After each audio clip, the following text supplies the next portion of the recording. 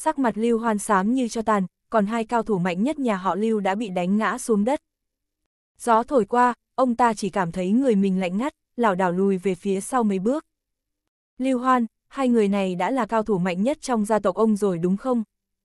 Lục Xuyên cười híp mắt nhìn Lưu Hoan, nếu hai người này chết ở nhà họ Lục thì ông có thấy nhà họ Lưu còn tư cách gì để đòi san băng gia tộc chúng tôi không?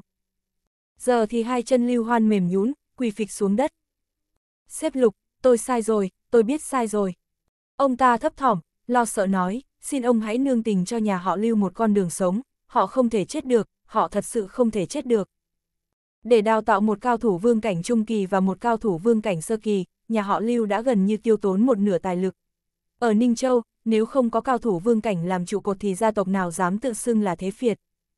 Cao thủ vương cảnh sơ kỳ bị đánh gục đã đành, đến cả cao thủ vương cảnh trung kỳ cũng bị thương nặng, chỉ cần Lục Xuyên muốn thì hai người này sẽ chết ngay. Ngay cả người thừa kế nhà họ Lưu là Lưu Hoan cũng có khả năng bị giết. Có thể nói rằng, hôm nay nhà họ Lưu đã bị nhà họ Lục áp đảo hoàn toàn. Nếu không muốn chết thì nói cho tôi biết, rốt cuộc là ai đã xúi dục ông mang bọn người đó đến nhà chúng tôi gây chuyện. Nụ cười trên mặt Lục Xuyên tất lịm, lạnh giọng chất vấn. Quả nhiên, sắc mặt Lưu Hoan thay đổi ngay khi nghe được câu hỏi của ông ta. Xếp Lục, ông đang nói gì thế? Lưu Hoan giả vờ không biết, vội vàng nói, do một cao thủ vương cảnh sơ kỳ của chúng tôi bị người của các ông giết nên tôi mới dẫn người đến nhà họ Lục mà. Ông nói dối. Lục Xuyên quát lên, cao thủ vương cảnh sơ kỳ của gia tộc khác bị giết thì tôi còn tin, cao thủ vương cảnh sơ kỳ nhà họ Lưu các ông bị giết thì tôi không tin đâu. Xếp Lục, tôi nói thật mà, Lưu Hoan hốt hoảng muốn khóc. Tốt thôi, vậy thì tôi hỏi ông, ông cảm thấy nhà họ Lục và nhà họ Lưu ai mạnh hơn? Lục Xuyên híp mắt, lời lẽ đây đe dọa, nói đúng sự thật đi, dám nói dối thì tôi giết ông ngay.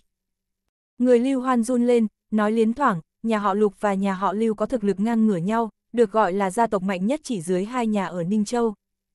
Tiếp, ông nói tối hôm qua nhà họ Lưu có một cao thủ vương cảnh sơ kỳ bị giết à? Lục Xuyên tiếp tục hỏi. Lưu Hoan lại gật đầu, đúng vậy. Chính miệng ông đã nói nhà họ Lưu và nhà họ Lục ngang ngửa nhau, vậy mà người của nhà họ Lục sau khi giết một cao thủ vương cảnh sơ kỳ của các ông vẫn có thể bình yên vô sự chạy thoát à? Ông nói đi, rốt cuộc là an ninh ở nhà các ông quá yếu hay là kẻ thần bí đã giết người đó quá mạnh? Lục Xuyên liên tục chất vấn. Lưu Hoan sững sờ, vội vã nói, là do kẻ thần bí đó quá mạnh. Có thể tự do ra vào nhà họ Lưu, giết được một cao thủ vương cảnh sơ kỳ của các ông, đã thế còn có thể thoát thân trong khi nhà họ Lưu có cả cao thủ vương cảnh trung kỳ, người như thế chắc là cũng có thực lực vương cảnh hậu kỳ rồi chứ gì nữa. Lục Xuyên gặng hỏi, vậy thì thử nghĩ xem, nếu nhà họ Lục chúng tôi có cao thủ vương cảnh hậu kỳ thì còn để nhà họ Lưu đứng ngang hàng với mình sao? Lưu Hoan, tôi hỏi ông một lần cuối cùng, ai đã xui khiến ông? Ông ta găng giọng, giận dữ chất vấn.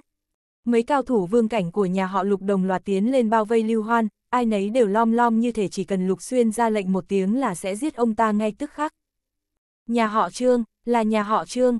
Lưu Hoan không chịu nổi áp lực mà Lục Xuyên gây ra nữa, hét to lên.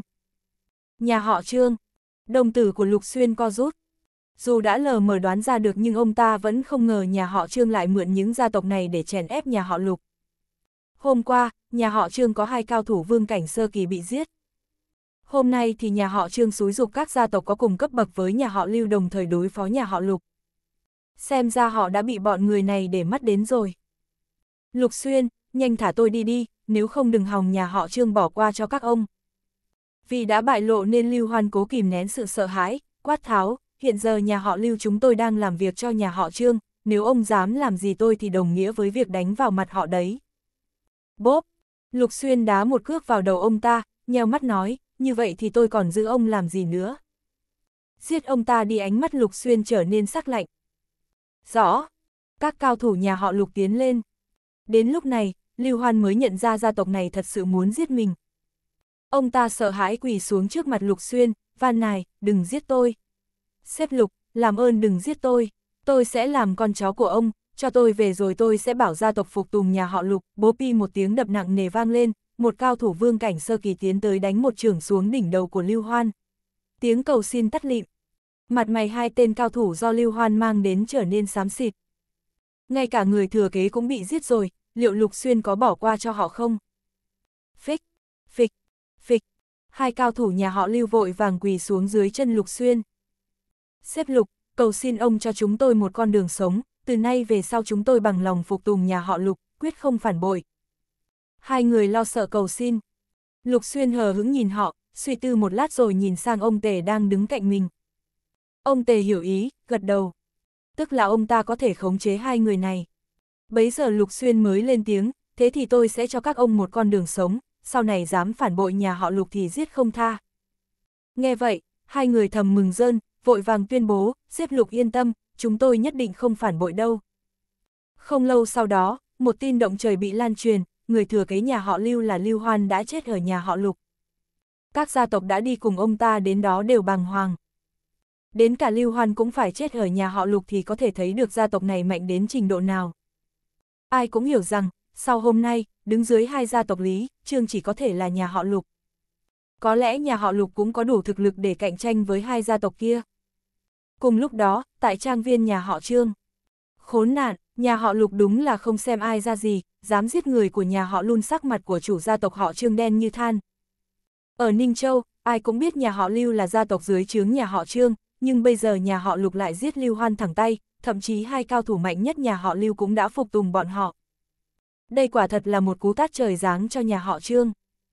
Thưa chủ gia tộc, hành động của nhà họ Lục rất khác thường, chúng ta đang tranh đoạt vị trí bá chủ Ninh Châu với nhà họ Lý, tôi nghĩ tạm thời nên bỏ qua cho bọn họ. Một ông già có mái tóc bạc phơ lên tiếng. Chủ gia tộc họ Trương âm trầm nói, đến nhà họ Lục cũng không trị được thì lấy gì để trị nhà họ Lý. Chủ gia tộc, ông già còn chưa nói hết lời thì bị lão ta phẫn nộ quát, câm miệng. Truyền lệnh của tôi xuống, tất cả cao thủ của nhà họ Trương lập tức xuất phát, đến nhà họ Lục. Để xem gia tộc này có mấy cân lượng mà dám giết người của tôi. Nghế chủ gia tộc trọ Trương nôi vậy, ông lão thở dài, không thể làm gì khác ngoài chơ phanh mệnh lệnh. Chẳng mấy chốc, toàn bộ Ninh Châu đều bán tán vụ việc chủ gia tộc họ Trương đích thân dân dắt người trong gia tộc sông đến nhà họ Lục, không những thế, lão ta còn đe dọa rằng sẽ tiêu diệt gia tộc này. Trong một căn nhà sang trọng ở trang viên nhà họ Lục. Thưa bố, Trương Quỳnh đã mang các cao thủ hàng đầu nhà họ Trương tiến về phía chúng ta rồi ạ, à, có lẽ lần này mình phải mời cậu Thanh ra tay giúp đỡ thôi. Lục Xuyên nặng nề nói, nét mặt có mấy phần mong đợi. Lục Nguyên Thông cũng nghĩ vậy, lần này nhà họ Trương đến nhà họ Lục khai chiến, cũng sẽ quyết định ai là người thăng. Nói cách khác, sau ngày hôm nay, họ sẽ khẳng định được liệu nhà họ Lục có thể trở thành gia tộc thống trị Ninh Châu hay không. Mà hy vọng duy nhất của họ, chính là Dương Thanh. Cùng lúc đó, trong biệt thự của Lục Tỉnh Tuyết, Dương Thanh đang đứng bên cửa sổ trong phòng, ngẩn người nhìn ra ngoài. Mấy ngày qua anh đã suy nghĩ rất nhiều điều, cũng có hiểu biết nhất định về thực lực của bản thân. Hiện giờ, gia tộc có thực lực mạnh nhất Ninh Châu là nhà họ Lý và nhà họ Trương, người mạnh nhất trong hai gia tộc đó có thực lực ở tâm vương cảnh hậu kỳ. Tuy nhiên, loại cấp bậc này mà muốn giết Dương Thanh thì chỉ có nước bị giết ngược lại mà thôi. Nói cách khác, thực lực của anh tối thiểu là ở vương cảnh đỉnh phong, thậm chí thần cảnh cũng có khả năng. Theo như Dương Thanh được biết, tính trên toàn bộ chiêu châu thì những ai có thể bước vào thần cảnh đều chỉ có thể là cao thủ của các gia tộc và thế lực đứng đầu. Anh còn biết được Rang, gần như không có người nào còn trẻ mà đã có thực lực thần cảnh như mình. Rốt cuộc mình là ai? Dương Thanh lẩm bẩm, nhìn cây tùng ngoài cửa sổ, trên đó có hai con sóc nhỏ đang vui vẻ chơi đùa với nhau, chẳng mấy chốc đã chạy mất bóng. Thời tiết hôm nay khá xấu, bầu trời răng đầy mây đen, có vẻ sắp có mưa to. Anh ơi! Giọng của lục tinh tuyết bất chợt vang lên ở cửa phòng. Sau khi được cho phép, cô ta nhẹ nhàng mở cửa đi vào. Trên tay còn cầm một tách trà nóng, đưa cho Dương Thanh. Cảm ơn. Dương Thanh nói. Vẫn đang cố nhớ mình là ai sao? Lục tinh tuyết đứng song song với Dương Thanh, đôi mắt to tròn long lanh nhìn ra ngoài cửa sổ. Anh gật đầu, gần đây tôi hay nằm mơ, trong mơ luôn nghe thấy có ai gọi mình là bố, thân thiết lắm, giống như cô bé trong mơ ấy thật sự là con gái của tôi vậy. Nét mặt cứng đờ, lục tỉnh tuyết quay đầu nhìn Dương Thanh, không hiểu sao cô ta rất muốn khóc khi nhìn thấy dáng vẻ nghiêm túc ấy. Có lẽ anh có con gái thật. Thật lâu sau, lục tinh tuyết mới lên tiếng, miễn cưỡng cười. Ngay cả bản thân cô ta cũng không biết mình đã phải lòng Dương Thanh từ lúc nào. Trong nửa tháng ngắn ngủi, Lục Tinh Tuyết rất chắc chắn mình đã yêu người đàn ông bị mất trí nhớ này. Phải chăng vào cái ngày bị Lý Tấn cản đường, cô ta đã bị khí thế và lòng dũng cảm khi áp đảo người nhà họ Lý của chàng trai này hấp dẫn. Cũng có lẽ là do bị bố và ông nội cố ý thúc đẩy tình cảm nên mới vậy. mà cũng có thể là ngày nào bên tai cũng nghe Mục Thiên Thiên nói rằng bản thân và Dương Thanh rất xứng đôi. Nói chung thì Lục Tình Tuyết đã hiểu tâm ý của mình, giờ chỉ còn việc bày tỏ nó ra. Tinh Tuyết, tôi có linh cảm không lâu nữa sẽ khôi phục trí nhớ. Dương Thanh đột nhiên lên tiếng. Thật ra, anh biết Lục Tinh Tuyết có tình cảm với mình.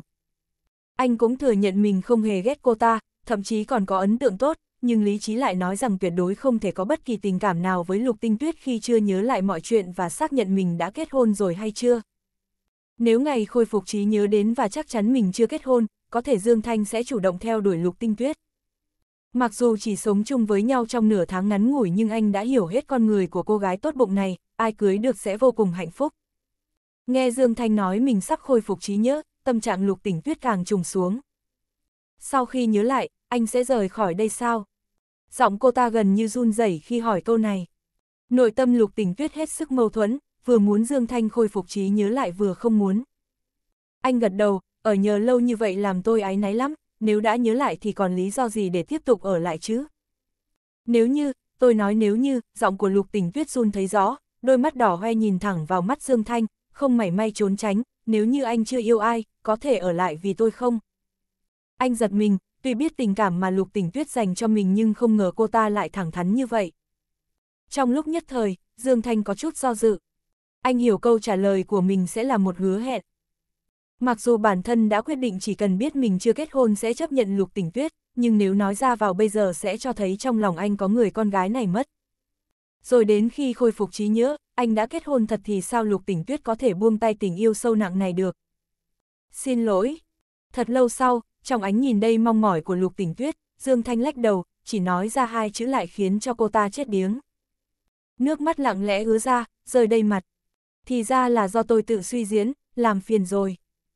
Nói xong, lục tình tuyết không kìm nén được nữa, xoay người chạy ra khỏi phòng của Dương Thanh. Pi anh thở dài, tâm trạng nặng nề. Này, anh đã làm gì chị họ tôi thế? Lục tình tuyết vừa rời khỏi không lâu thì Mục Thiên Thiên nổi giận đùng đùng chạy vào chất vấn. Dương Thanh đã đoán được cô ta sẽ ra mặt vì lục tình tuyết, cũng đã nghĩ sẵn nên giải thích thế nào. Tôi không làm gì cô ấy cả, chỉ nói cho cô ấy có lẽ không lâu nữa tôi sẽ đi thôi. Anh bình tĩnh đáp, gì cơ, anh sắp đi rồi, anh nhớ lại rồi à? Mục Thiên Thiên sừng sốt. Dương Thanh lắc đầu, tạm thời vẫn chưa, nhưng tôi có cảm giác không còn lâu nữa. Nghe anh nói vậy, Mục Thiên Thiên thở phào nhẹ nhõm, khuyên nhủ, anh này, anh cũng biết chị họ tôi thích anh mà, từ trước đến giờ chị ấy chưa bao giờ yêu ai cả, anh là người đàn ông duy nhất làm chị ấy động lòng đấy. Anh thật sự vô tình đến nỗi vừa khôi phục trí nhớ là đi liền sao. Hơn nữa, anh cũng chỉ là có cảm giác sắp nhớ lại được thôi mà. Để tôi nói cho anh nghe, rất nhiều người bị mất trí nhớ đều có cảm giác đó, nhưng lỡ ai không được như ý thì suốt đời đều không thể nhớ lại được. Cảm xúc của Mục Thiên Thiên hơi kích động, anh đừng nghĩ nhiều nữa, ở bên chị ấy có được không? Anh đừng lo gì cả, nếu có một ngày anh thật sự nhớ lại mọi chuyện, nếu như anh đã yêu người nào khác thì chị ấy nhất định sẽ không dây dưa với anh đâu. Sinh ra trong gia tộc lớn là đã khổ lắm rồi, ngay cả cơ hội lựa chọn hạnh phúc cũng không có, khó khăn lắm mới gặp được người mình thích, gia tộc đã tán thành nhưng anh lại không đồng ý, chuyện này quá tàn nhãn với chị ấy. Anh này, chị họ tôi thật sự tốt lắm, tốt vô cùng, sau này cũng sẽ là một người vợ hiền, xem như tôi cầu xin anh, ở bên chị ấy đi, được không? Càng nói, nước mắt càng chảy xuống. Dương Thanh có thể thấy được Mục Thiên Thiên thật sự muốn mình và Lục Tinh Tuyết về chung một nhà. Anh im lặng không nói gì, lòng đản đo khôn kể. Đương nhiên Dương Thanh biết Lục tinh Tuyết là một cô gái tốt đến nhường nào, vừa xinh đẹp lại vừa lương thiện, dường như không thể tìm ra được một khuyết điểm gì. Một cô gái như thế mà chủ động thì có lẽ không một người đàn ông nào có thể chối từ. Chỉ là, nếu anh chấp nhận Lục tình Tuyết, rồi một ngày nào đó phát hiện ra mình đã có người thương thì khi đó anh nên làm gì với tình cảm giữa mình và cô gái này đây? Anh đừng cả nghĩ, bây giờ anh cứ đi tìm chú Lục nói cho chú ấy biết anh muốn cưới chị họ. Mục Thiên Thiên thấy Dương Thanh do dự, liền nắm tay anh muốn đi tìm Lục Xuyên. Chú Lục và ông cụ Lục rất hài lòng về anh. Chỉ cần anh lên tiếng, bọn họ chắc chắn sẽ không ngăn cản việc hôn nhân giữa anh và chị họ, chúng ta đi nhanh thôi. Dương Thanh vẫn hờ hứng, rốt cục quyết định nói, Thiên Thiên, có thể tôi đã kết hôn rồi. Không phải anh vẫn chưa nhớ lại sao, Mục Thiên Thiên cuống lên. Mấy ngày nay, mỗi buổi tối tôi đều mơ thấy một cô bé gọi tôi là bố. Cảm giác đó vô cùng gần gũi, tôi gần như có thể xác định được cô bé đó là con gái của tôi. Vẻ mặt Dương Thanh nghiêm túc nói, ngoài cô bé đó ra, còn có một cô gái rất trẻ, nếu tôi đoán không lầm cô ấy chính là vợ tôi. Không thể nào. Mục Thiên Thiên gấp đến sắp khóc, anh cũng đã nói đó chỉ là giấc mơ thôi mà, sao có thể coi là thật được chứ? Tôi còn mơ thấy đứa con tương lai của tôi nữa đấy. Nói theo cách của anh chẳng phải tôi đã sinh con rồi sao? Dương Thanh lắc đầu, việc này không giống nhau mặc kệ Mục Thiên Thiên lôi kéo thế nào, Dương Thanh vẫn thở ơ. Anh đã hạ quyết tâm, trừ khi chắc chắn mình độc thân, bằng không anh sẽ không bao giờ chấp nhận bất kỳ cô gái nào khác. Anh vô tình đến thế sao? Mục Thiên Thiên nhất thời nổi giận, xa xăm mặt nói, nếu không có chị họ và tôi thì anh có thể sống đến hôm nay sao? Anh đối xử với người cứu mạng mình như vậy sao? Vẻ mặt Dương Thanh chua xót, đột nhiên nghiêm túc nói, Thiên Thiên, bây giờ tôi có thể cưới tỉnh tuyết, nhưng cô có nghĩ tới nếu tôi cưới cô ấy rồi, đợi sau này khi tôi nhớ lại, lỡ như tôi thật sự có vợ con thì tinh tuyết phải làm sao? Thay vì đợi đến lúc tình cảm sâu đậm mới cắt đứt không bằng dứt khoát bóp chết khi nó mới vừa nhen nhóm, đúng không? Lý Sơn khẽ gật đầu, nhíu mày nói, chuyện này sẽ không điều tra đến chúng ta chứ. Bố yên tâm, con đã xử lý chuyện này vô cùng sạch sẽ, chắc chắn không có ai nghĩ ra do chúng ta làm đâu. Lý Đồng Hạ bảo đảm, lại vừa cười vừa nói, qua hôm nay, sợ rằng nhà họ Trương sẽ hoàn toàn biến thành lịch sử, cho dù bọn họ có thể còn sống thì căn cơ của gia tộc vẫn sẽ bị tổn thương nặng nề. Nếu có thể làm cao thủ vương cảnh đỉnh phong kia của nhà họ Lục bị thương nặng, vậy nhà họ Lý chúng ta có thể làm ngư ông hưởng lợi. Lý Sơn hừ lạnh nói, con quá coi thường cao. Thủ vương cảnh đỉnh phong, chỉ cần người thanh niên nhà họ Lục kia thật sự là cao thủ vương cảnh đỉnh phong, đừng nói là nhà họ Trương, cho.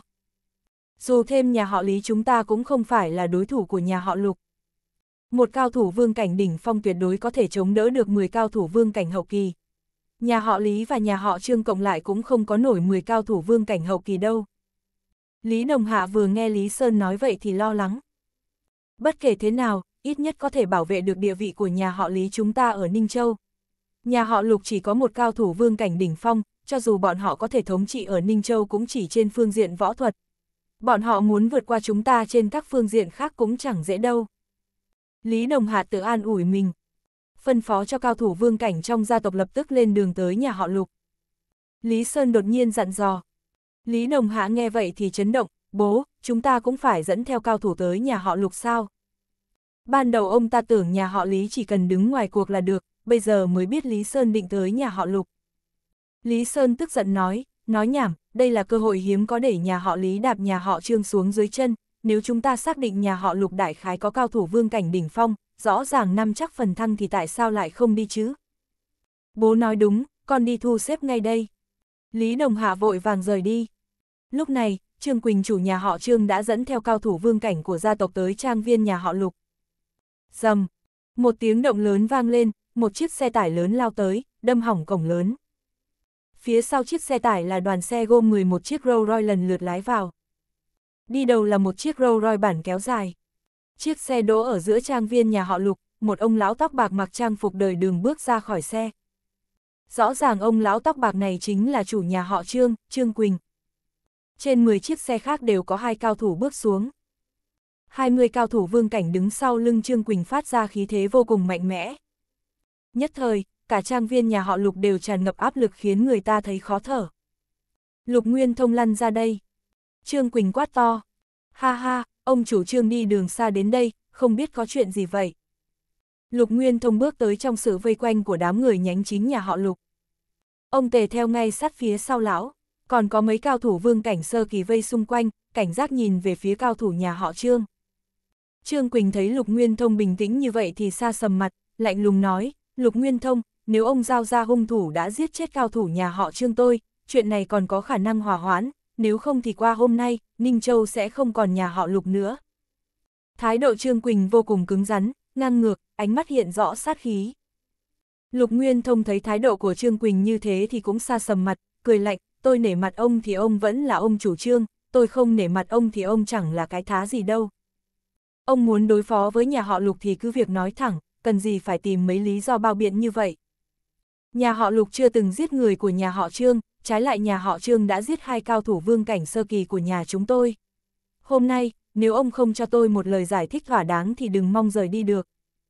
Lục Nguyên Thông vừa dứt lời, những cao thủ hàng đầu của nhà họ Lục đứng bên cạnh lão đều tỏ ra cảnh giác, chuẩn bị sẵn sàng chiến đấu. Chỉ cần một câu nói của Lục Nguyên Thông, bọn họ sẽ xông vào chiến đấu. Trương Quỳnh rất tức giận, đôi mắt chim ưng nhìn về phía Lục Nguyên Thông lóe ra sát ý mãnh liệt như có thể giết người. Lục Nguyên Thông không hề sợ hãi, nhìn thẳng vào mắt Trương Quỳnh với ánh mắt vô dùng kiên định, cũng truyền đạt một tin tức cho lão ta, chỉ cần nhà họ Trương dám ra tay, nhà họ Lục cũng dám liều mạng đánh một trận. Lúc này, không chỉ người nhà họ Lục, người nhà họ Trương cũng cảm giác được áp lực rất lớn. Mặc dù giữa hai gia tộc lớn có tranh lệch nhưng không tính là lớn, một khi hai bên thật sự muốn quyết chiến, chắc chắn sẽ là tai họa đối với bất kỳ bên nào. Trương Quỳnh, ông đừng mơ dọa được tôi.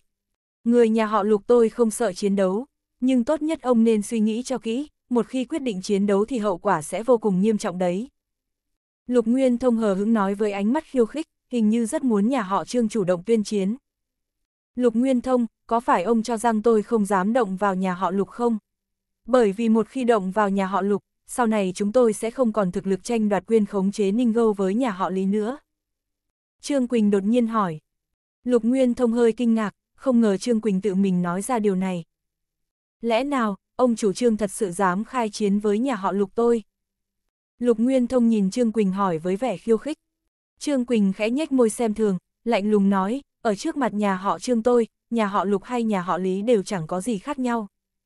Lục Nguyên Thông thấy Trương Quỳnh ngạo nghễ như vậy, không hiểu sao chợt có dự cảm xấu. Ra đây, Trương Quỳnh vừa dứt lời, hai người đàn ông trông vạm vỡ từ đám đông phía sau chậm rãi bước tới, đứng ở hai bên của lão ta. Lục Nguyên Thông cũng là cao thủ vương cảnh trung kỳ nhưng lúc này lại có thể cảm giác được rõ ràng hai khí thế đáng sợ từ trên thân hai người đàn ông bên cạnh Trương Quỳnh phát ra.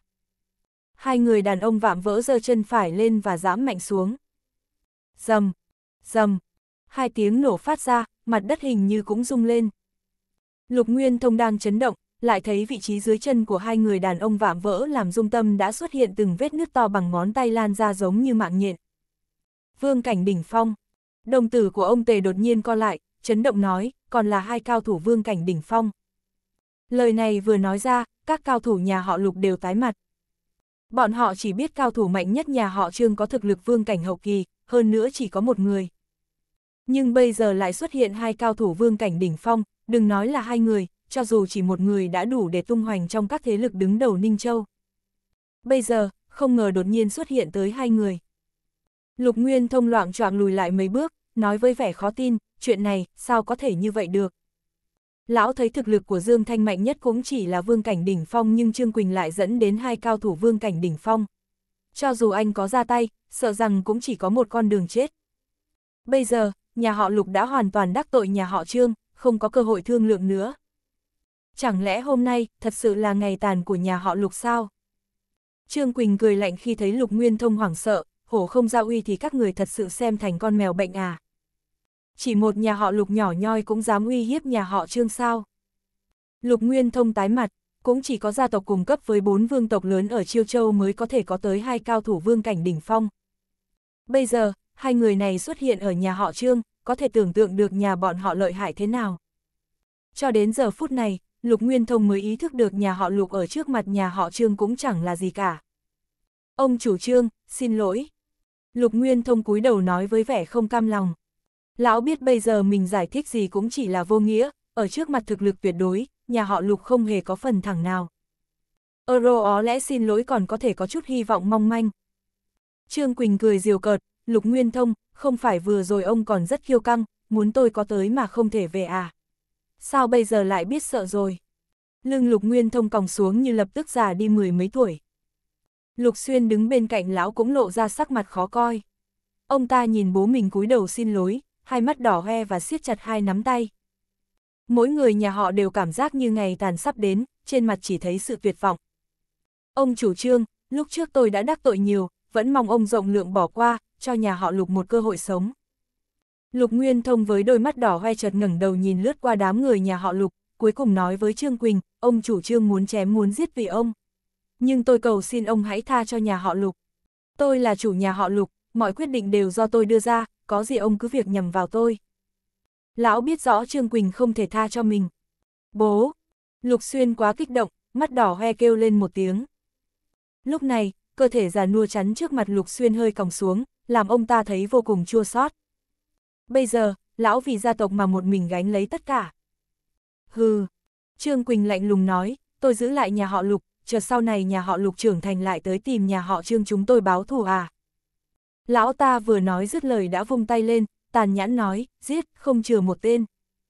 Lời này vừa nói ra, người nhà họ Lục đều tuyệt vọng. Với đội hình như vậy, đừng nói là nhà họ Lục, cho dù là gia tộc quyền thế nhất Yến Đô cũng không có cách nào chống đỡ. Tôi xem ai dám. Trong lúc chỉ mảnh treo chuông này, một tiếng hét lớn chợt vang lên. Chỉ thấy một đoàn xe hơi sang trọng xuất hiện, trong mỗi chiếc xe đều có mấy cao thủ bước ra. Người vừa hét lớn là lão già bước xuống từ. Chiếc xe hơi sang trọng dẫn đầu. Lý Sơn. Trương Quỳnh nhìn về phía Lý Sơn, hai mắt hơi nheo lại. Lục Nguyên thông vốn đang tuyệt vọng, sau khi nhìn thấy Lý Sơn xuất hiện thì đôi mắt chợt sáng lên như nhìn thấy hy vọng. Bây giờ chỉ có nhà họ Lý mới có hy vọng chống đỡ được cơn thịnh nộ của nhà họ Trương. Nhưng nghĩ đến hai cao thủ vương cảnh đỉnh phong do Trương Quỳnh dân đến, Lục Nguyên Thông lại tuyệt vọng. Rõ ràng Lý Sơn mới vừa tới đây nên không biết chuyện nhà họ Trương xuất hiện hai cao thủ vương cảnh đỉnh phong. Tôi chờ ông rất lâu rồi. Trương Quỳnh cười híp mắt, nhìn về phía Lý Sơn nói. Lý Sơn khẽ nhíu mày, hai cao thủ vương cảnh hậu kỳ đi theo hai bên lão ta, phía sau còn có hơn 10 cao thủ vương cảnh sơ kỳ và trung kỳ. Trương Quỳnh, ông kiêu ngạo quá nhỉ. Không ngờ ông lại muốn tiêu diệt nhà họ Lục đấy. Lý Sơn lạnh lùng nói, nhà họ Lục là bạn của nhà họ Lý chúng tôi, ông muốn động vào bọn họ thì phải bước qua nhà họ Lý chúng tôi trước. Sở dĩ lão ta muốn dẫn theo cao thủ hàng đầu trong gia tộc tới nhà họ Lục là vì cao thủ vương cảnh đỉnh phong của nhà họ Lục. Lão ta đương nhiên muốn nói giúp cho nhà họ Lục. Nhà họ Lý mạnh lắm sao? Trương Quỳnh đột nhiên nói. Lão ta vừa dứt lời, khí thế võ đạo trên thân hai cao thủ vương cảnh đỉnh phong bên cạnh đột nhiên bộc phát. Âm, âm, trong sự khiếp sợ của cao thủ nhà họ Lý, khí thế do cao thủ bên cạnh Trương Quỳnh tản ra xung quanh. Giờ phút này, cho dù là hai cao thủ vương cảnh hậu kỳ bên cạnh Lý Sơn cũng cảm giác được uy áp đáng sợ, lập tức biến sắc. Lý Sơn là chủ nhà lại càng chấn động hơn, nhìn hai cao thủ bên cạnh Trương Quỳnh với vẻ khó tin, cao thủ vương cảnh đỉnh phong, còn là hai người à. Ở Ninh Châu, nhà họ Lý và nhà họ Trương đều là hai gia tộc lớn hàng đầu có tiếng tăm, bọn họ biết rõ nội tình của đối phương. Nếu nhà họ Trương thật sự có cao thủ vương cảnh đỉnh phong sẽ không thể chờ tới bây giờ mới hiện thân, sợ rằng đã tiêu diệt nhà họ Lý từ lâu rồi. Về phần tranh đấu giữa nhà họ Lý và nhà họ Trương lại càng không có. Vậy nói cách khác, hai cao thủ vương cảnh đỉnh phong bên cạnh Trương Quỳnh không thuộc về nhà họ Trương. Chẳng lẽ có một gia tộc siêu cấp nào đó ngầm ủng hộ nhà họ Trương? Lý Sơn đã bắt đầu suy nghĩ lung tung. Ông chủ lý, bây giờ ông vẫn định ra mặt cho nhà họ Lục sao? Trương Quỳnh cười híp mắt nhìn Lý Sơn hỏi. Lý Sơn lau mồ hôi lạnh trên trán, vội vàng lắc đầu, ông chủ trương, ông hiểu nhầm rồi. Tôi dẫn người đến đây không phải để giúp nhà họ Lục. Tôi nghe nói ông muốn đối phó với nhà họ Lục nên tới giúp đỡ thôi. Ồ, thật sao? Trương Quỳnh nheo mắt hỏi, sâu trong đôi mắt lóe lên sát khí. Thật, chắc chắn là thật rồi. Lý Sơn vội vàng đáp và nói với vẻ thấp thỏm lo âu, chỉ là tôi không ngờ bên cạnh ông chủ trương còn có cao thủ vương cảnh đỉnh phong. Nếu biết trước thì tôi đã không tới. Ông chủ trương, nếu ông có thể dễ dàng tiêu diệt nhà họ Lục, vậy nhà họ Lý không nhúng tay vào nữa, tôi dẫn người đi ngay đây. Lý Sơn vừa nói dứt lời đã chuẩn bị rời đi. Đứng lại. Trương Quỳnh phần nộ quát, ông thật sự xem tôi là thằng ngu dễ lừa gạt sao. Bịch. Lý Sơn sợ đến mức quỳ xuống nói, ông chủ trương, tôi làm sao dám lừa ông chứ. Sau này, nhà họ Lý sẽ là tay sai của nhà họ Trương, sẽ xem ông chủ trương là người đứng đầu Ninh Châu. Ninh Châu chưa bao giờ xuất hiện cao thủ vương cảnh đỉnh phong, cho dù mạnh nhất cũng chỉ là vương cảnh hậu kỳ. Nhưng bây giờ nhà họ Trương xuất hiện tới hai cao thủ vương cảnh đỉnh phong chứng tỏ phía sau có thể có gia tộc hàng đầu nâng đỡ. Nhà họ Lục có khả năng tồn tại một cao thủ vương cảnh đỉnh phong đã làm nhà họ Lý thấy tuyệt vọng, thậm chí phải dẫn cao thủ trong gia tộc tới định lấy lòng. Bây giờ, nhà họ Trương xuất hiện hai cao thủ vương cảnh đỉnh phong, Lý Sơn đâu dám phản kháng nữa. Lục Nguyên thông tuyệt vọng khi nhìn thấy Lý Sơn quỳ xuống xin tha. Ban đầu, lão thấy Lý Sơn dẫn người xuất hiện còn tưởng nhà họ Lục có hy vọng. Nhưng bây giờ, ngay cả Lý Sơn cũng quỳ xuống xin tha, nhà lão còn có hy vọng gì nữa. Bịch, hai chân Lục Nguyên thông mềm nhún, quỳ xuống đất, sau này, Ninh Châu sẽ lấy ông chủ trương làm người dẫn đầu, nhà họ Lục bằng lòng thân phục. Lục Nguyên Thông quỳ xuống tương đương với gia tộc hàng đầu của cả Ninh Châu đều quỳ. Nhưng Trương Quỳnh lại cười híp mắt nhìn Lý Sơn nói với vẻ trêu tức, Lý Sơn, ông vẫn không hiểu ý của tôi. Tôi nói ông lừa gạt tôi là về chuyện ông âm thầm phái cao thủ trong gia tộc tới ám sát cao thủ nhà họ Trương tôi và cao thủ của các thế lực qua lại thân thiết với nhà họ Trương nữa. Ông thật sự tưởng tôi không biết à?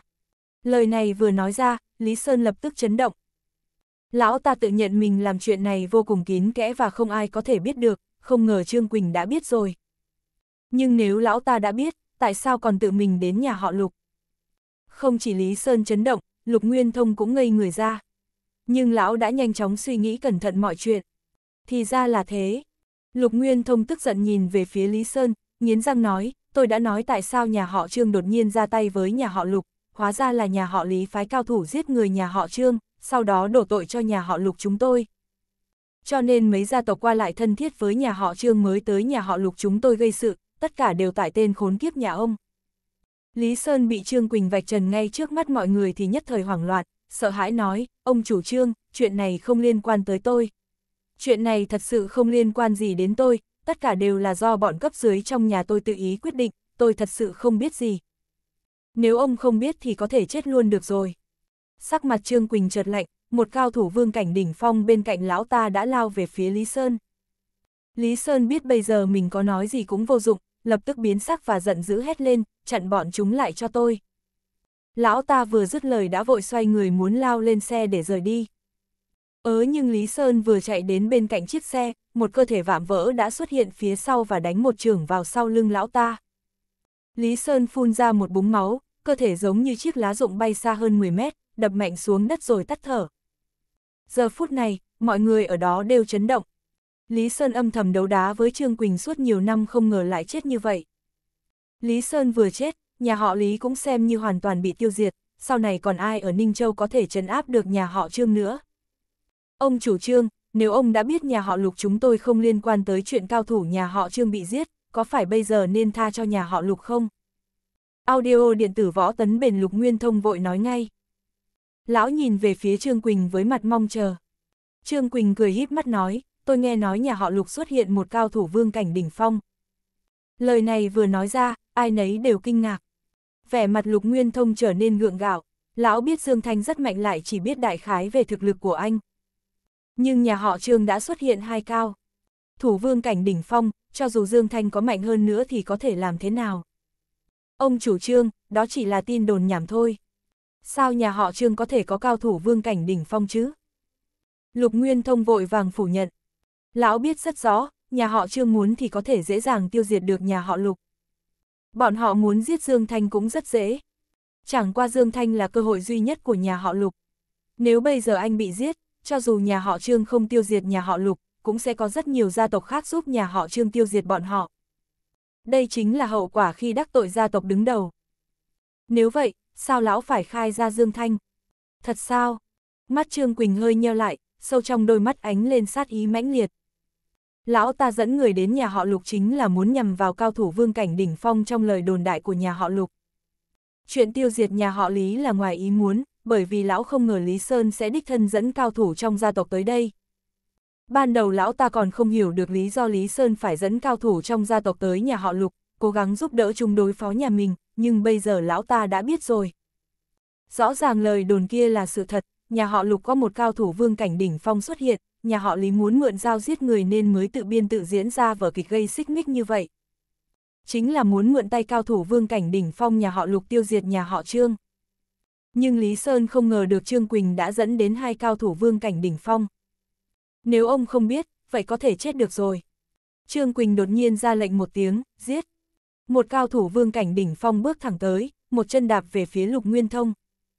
Bố, chủ gia tộc, người nhà họ Lục đều tái mặt, hét lên chói tai. Lục Nguyên Thông tuyệt vọng, lão vốn định mượn sự trợ giúp của Dương Thanh để đưa nhà họ Lục lên vị trí bá chủ Ninh Châu, nhưng không ngờ hôm nay sẽ phải chết. Phụt, trong sự hoàng sợ của mọi người, khi chân của tên vương cảnh đỉnh phong kia xếp va chạm vào Lục Nguyên Thông, giữa chân mày của ông ta xuất hiện một lỗ máu làm người ta nhìn thấy mà giật mình. Cơ thể ông ta theo quán tính vẫn lao tới mấy mét mới ngã xuống đất, chết không nhắm mát. Yên tĩnh không một tiếng động. Giờ phút này, nhà họ lục rộng lớn yên tĩnh một cách đáng sợ ai nấy đều hoảng sợ nhìn thi thể nằm trong vũng máu kia. Bọn họ không biết chuyện gì đã xảy ra, chỉ nhìn thấy một cao thủ vương cảnh đỉnh phong chết như vậy. Một cao thủ vương cảnh đỉnh phong khác đứng bên cạnh Trương Quỳnh cũng đang run rẩy, ánh mắt đầy khiếp sợ. Không ngờ ông ta đã mạnh đến tâm này mà vẫn cảm nhận được một luồng áp lực ghê người đang vây quanh mình. Bịch, ông ta không có cách nào chịu được áp lực khủng khiếp này, cơ thể mềm nhữ và quỳ xuống. Tiền, tiền bối, tôi, tôi không có ý xúc phạm, vẫn, vẫn mong tiền bối tha, tha cho tôi, tôi, tôi sẽ đi ngay bây giờ, ông ta sợ tới mức nói năng lộn xộn. Một cao thủ cùng cảnh giới với ông ta đã bị giết chết trong nháy mắt mà ông ta thậm chí còn chẳng biết là ai giết. Ông ta đâu còn dám ở lại đây nữa. Ông ta vừa dứt lời đã đứng dậy, lảo đảo chạy đi. Phụt đúng lúc này, cơ thể ông ta lao tới được mấy bước đã ngã xuống, sau khi co giật vài cái thì không còn phản ứng gì nữa. Chẳng mấy chốc, quanh đầu ông ta có rất nhiều máu tràn ra. Hai cao thủ vương cảnh đỉnh phong liên tục bị giết chết, Trương Quỳnh bị dọa cho không nhịn được mà xón ra quần, ngồi phịch xuống đất, vẻ mặt vô cùng sợ hãi. Các cao thủ khác của nhà họ Trương đều huyệt vọng. Tiền bối tha mạng, tiền bối tha mạng. Nhất thời, các cao thủ nhà họ Trương đều quỳ xuống, không ngừng dập đầu xin tha. Trái lại, người nhà họ Lục vẫn đứng yên tại chỗ, vẻ mặt chấn động, đầu óc đờ đán. Bọn họ không biết chuyện gì vừa xảy ra, chỉ thấy người mạnh mẽ như thần tiên lần lượt chết ở nhà họ Lục. Lục Nguyên thông thoáng ngây người rồi mới lấy lại tinh thần, lập tức mừng như điên. Lão không biết sốt cuộc là ai đã âm thầm ra tay giải quyết cao thủ nhà họ Trương. Nhưng lão biết đối phương đang giúp nhà họ Húc. Bây giờ, Lý Sơn bị giết, nhà họ Lý cũng tương đương với bị tiêu diệt. Trương Quỳnh bị dọa cho xón ra quần, quỳ xuống xin tha. Sau này còn ai ở Ninh Châu dám đắc tội nhà họ Lục nữa. Trương Quỳnh, ông cũng có ngày hôm nay à? Lục Nguyên Thông đắc ý, phá lên cười. Lúc này Trương Quỳnh mới nhìn về phía Lục Nguyên Thông. Ban đầu lão ta tới là vì cao thủ vương cảnh đỉnh phong trong lời đồn đại của nhà họ Lục nhưng bây giờ còn chưa gặp được đối phương. Sợ rằng cao thủ nhà họ Lục không phải thực lực vương cảnh đỉnh phong mà là thân cảnh. Trương Quỳnh nghĩ tới đây, vội vàng cầu xin Lục Nguyên Thông, ông chủ Lục, tôi biết sai rồi, cầu xin ông nói giúp với vị đại nhân kia, sau này nhà họ Trương chúng tôi bằng lòng thần phục nhà họ Lục, Ninh Châu đều do ông định đoạt. Vừa rồi còn là Lục Nguyên Thông quỳ xuống xin Trương Quỳnh tha nhưng bây giờ đã ngược lại. Lục Nguyên Thông không mấy kích động, lão biết rõ, nếu cao thủ vừa âm thầm ra tay giúp đỡ nhà họ Lục không hiện thân thì rõ ràng không muốn để cho bọn họ biết thân phận. Hơn nữa, lão không biết thái độ của đối phương thế nào, sao dám nói tha cho nhà họ Trương. Về phần Dương Thanh, lão chưa từng nghĩ tới anh. Dù sao Dương Thanh quá trẻ, lão thấy thực lực của anh cùng lắm là vương cảnh đỉnh phong, tuyệt đối không thể là thần cảnh được. Hừ, có bằng lòng tha cho ông hay không không phải do tôi quyết định mà là do vị đại nhân kia. Lục Nguyên Thông lạnh lùng nói. Cho dù lão muốn giết Trương Quỳnh nhưng người trong bóng tối kia không ra tay, lão cũng không dám. Qua 10 phút vẫn không thấy người trong bóng tối giết cao thủ nhà họ Trương, Trương Quỳnh mới ý thức được đối phương chỉ giết hai cao thủ vương cảnh đỉnh phong và có thể đã tha nhà họ Trương. Xem ra, vị đại nhân kia đã bỏ qua cho chúng A rồi. Trương Quỳnh tự an ủi, sau đó nhìn về phía Lục Nguyên Thông nói, ông chủ Lục, vậy tôi có việc phải đi trước, nếu sau này có gì cần nhà họ Trương chúng tôi giúp đỡ, ông cứ việc nói. Lão ta vừa dứt lời, không chờ Lục Nguyên Thông nói gì đã vội vàng rời đi. Chẳng mấy chốc, người nhà họ Trương đều đi hết. Lục Nguyên Thông đứng yên tại chỗ và cảm giác như mình đang nằm mơ. Không ngờ hai cao thủ vương cảnh đỉnh phong bị giết chết ngay trước mắt lão như vậy. Bố! Lục Xuyên đi tới, kích động nhìn về phía Lục Nguyên Thông, bố, qua hôm nay, còn ai dám động vào nhà họ Lục chúng ta nữa. Lục Nguyên Thông bảo mọi người rời đi, sau đó dẫn theo Lục Xuyên quay vào phòng. Con nói xem, rốt cuộc là ai giúp chúng ta giết hai cao thủ vương cảnh đỉnh phong nhà họ Trương. Sau khi vào trong phòng, Lục Nguyên Thông nói với vẻ nghiêm trọng. Lục Xuyên nghiêm mặt, bố, bố nói xem có phải là cao thủ của gia tộc phía sau cậu nhỏ không? Hả? Lục Nguyên Thông hơi kinh ngạc. Vừa rồi Lục Xuyên cũng nghi ngờ, rốt cuộc là ai có thể giết chết hai cao thủ vương cảnh đỉnh phong trong nháy mắt, đã thế còn không hề xuất hiện. Cậu nhỏ trẻ đã nắm giữ thực lực vương cảnh đỉnh phong, thế lực sau lưng cậu nhỏ chắc chắn không đơn giản. Con đoán chắc chắn là gia tộc sau lưng cậu nhỏ đã tìm được cậu nhỏ nên vừa rồi mới ra tay, hẳn là cao thủ âm thầm bảo vệ cậu nhỏ đã làm. Lục Xuyên nghiêm mặt nói. Lục Nguyên Thông chợt hiểu ra, thì ra là thết cùng lúc đó, Trương Quỳnh đã dẫn người quay về gia tộc. Trong trang viên nhà họ Trương, hai thi thể của cao thu vương cảnh đỉnh phong được đặt trong một đại sảnh. Trong đại sảnh còn có ba lão già tóc bạc trăng đang ngồi trên vị trí chủ tọa. Lúc này, ai nấy đều phẫn nộ. Trương Quỳnh quỳ trước mặt ba người, thấp thỏm lo âu nói, ba vị đại nhân, tất cả những lời ôi nói đều là sự thật. Nhà họ Lục có một cao thủ thần bí, đối phương còn chưa hiện thân đã giết chết hai cao thủ vương cảnh đỉnh phong. Ba người im lặng rất lâu, lão già ngồi phía bên trái đột nhiên nhìn lão già ngồi giữa, nghiêm giọng nói, Bạch Phương, sợ là nhà họ Lục này có cao thủ thần cảnh thật, cho dù không phải thần cảnh thì thực lực của đối phương ít nhất cũng là bán bộ thần cảnh. Ông nói xem, tiếp theo liên minh Tam Vương chúng ta nên xử lý chuyện này thế nào? Ông lão phía bên phải lạnh lùng nói, Tiết Phương, còn phải hỏi Bạch Vương nên xử lý chuyện này thế nào à? Chỉ là một gia tộc nhỏ ở Ninh Châu làm sao có thể có cao thủ thần cảnh được? Mã Vương, ý ông là sao? Tiết Phương lạnh giọng hỏi. Mã Vương lạnh lùng đáp, cho dù nhà họ Lục có cao thủ che chở, nhiều nhất cũng chỉ là bán bộ thần cảnh. Bây giờ cả ba vương chúng ta đều đã bước vào bán bộ thần cảnh, chúng ta cứ dẫn cao thủ vương cảnh đỉnh phong của liên minh vương tộc cùng tới nhà họ Lục. Tôi không tin ba vương của liên minh vương tộc chúng ta ra tay, nhà họ Lục còn có thể ngăn cản được. Bạch Vương ngồi ở vị trí chủ tọa không nói gì nhưng sắc mặt hơi thâm trầm. Trương Quỳnh quỳ dưới đất không dám thở mạnh, dù sao cũng là lão ta dẫn theo hai cao thủ vương cảnh đỉnh phong của liên minh vương tộc tới nhà họ Lục, bây giờ bọn họ đều chết mà lão ta còn sống sót quay về. Lão ta sợ liên minh vương tộc sẽ chút hết tội lên đầu mình. Sau khi im lặng rất lâu, Bạch Phương đột nhiên nhìn về phía Trương Quỳnh hỏi, ông nói cao thủ thần bí của nhà họ Lục còn chưa xuất hiện đã giết chết hai cao thủ vương cảnh đỉnh phong trong nháy mắt à. Trương Quỳnh vội vàng gật đầu, đại nhân, lời tôi nói đều là sự thật. Nếu đại nhân không tin có thể hỏi những người đi cùng tôi. Bạch Phương không nghi ngờ Trương Quỳnh vì biết lão ta không có cái gan đó. Ông lui xuống trước đi. Bạch Phương chợt nói. Đến giờ phút này, Trương Quỳnh mới thở phào nhẹ nhõm và vội nói, cảm ơn đại nhân. Sau khi Trương Quỳnh rời đi, trong phòng chỉ còn lại có ba vị vương của liên minh vương tộc, sắc mặt ai nấy đều rất khó coi. Ban đầu tôi còn tưởng muốn nắm được Ninh Châu nhỏ này sẽ không cần tốn bao nhiêu sức lực, không ngờ chỉ một nhà họ lục lại có cao thủ thực lực ít nhất là bán bộ thần cảnh. Bạch Phương chợt nói, Bạch Phương, chẳng lẽ ông sợ rồi sao?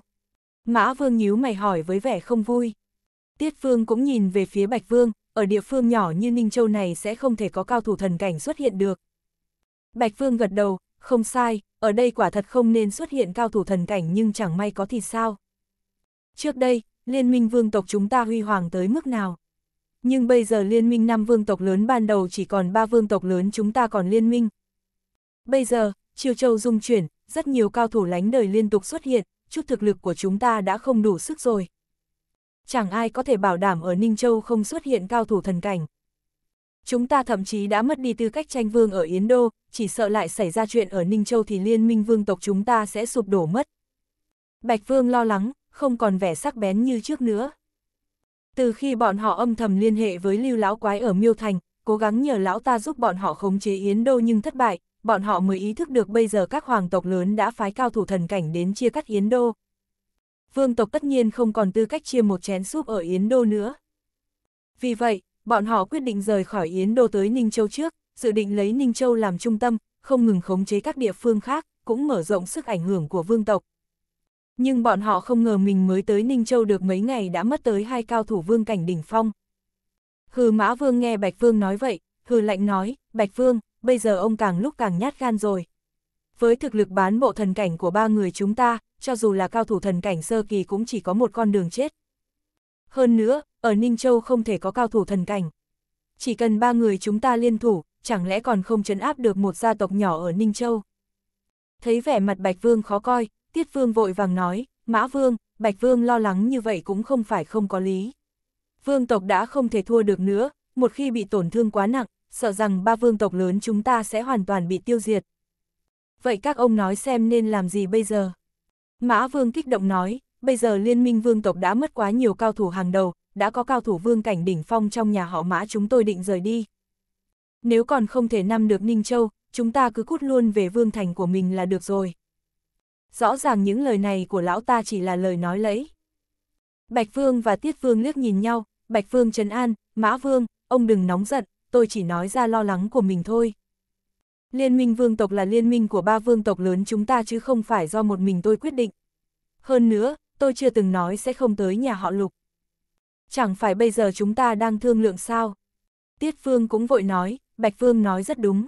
Liên minh vương tộc, không phải của riêng ai trong chúng ta mà là liên minh của ba vương tộc lớn. Có gì thì mọi người cùng nhau thương lượng, đừng vì chút chuyện nhỏ mà mâu thuẫn với nhau.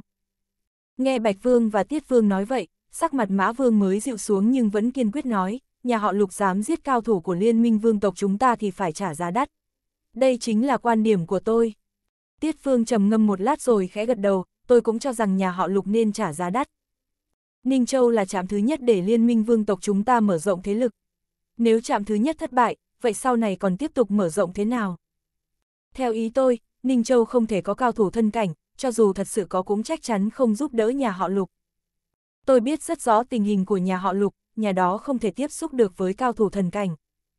Cao chủ vương cảnh trung kỳ đã là tồn tại mạnh nhất trong nhà họ Lục rồi. Bạch Vương nói, vậy phải giải thích thế nào về chuyện hai cao thủ vương cảnh đỉnh phong của chúng ta bị giết ở nhà họ Lục?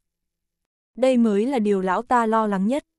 Mã Vương và Tiết Vương lập tức im lặng, bọn họ không hiểu được điều này.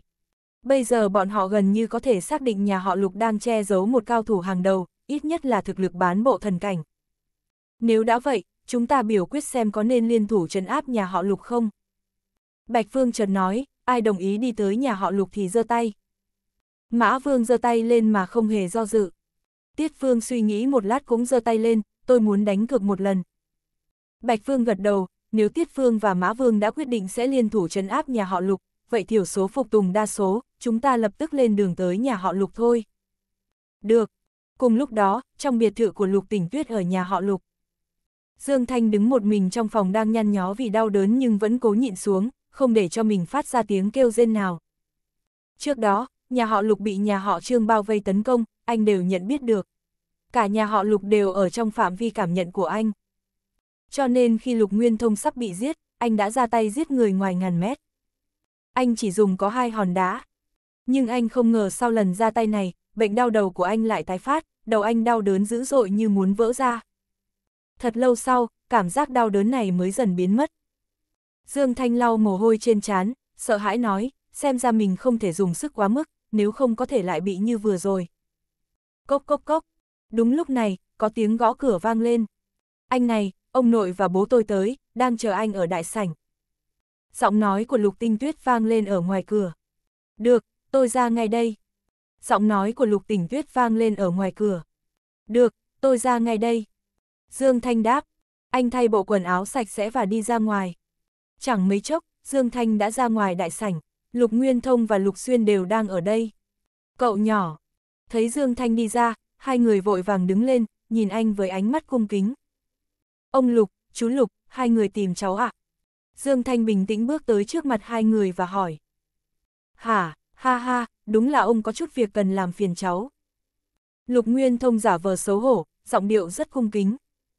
Lục Tình Tuyết và Mục Thiên Thiên đều kinh ngạc trước cảnh tượng này. Cho dù trước đó Lục Nguyên Thông có khách sáo với Dương Thanh nhưng chưa từng khách sáo như vậy.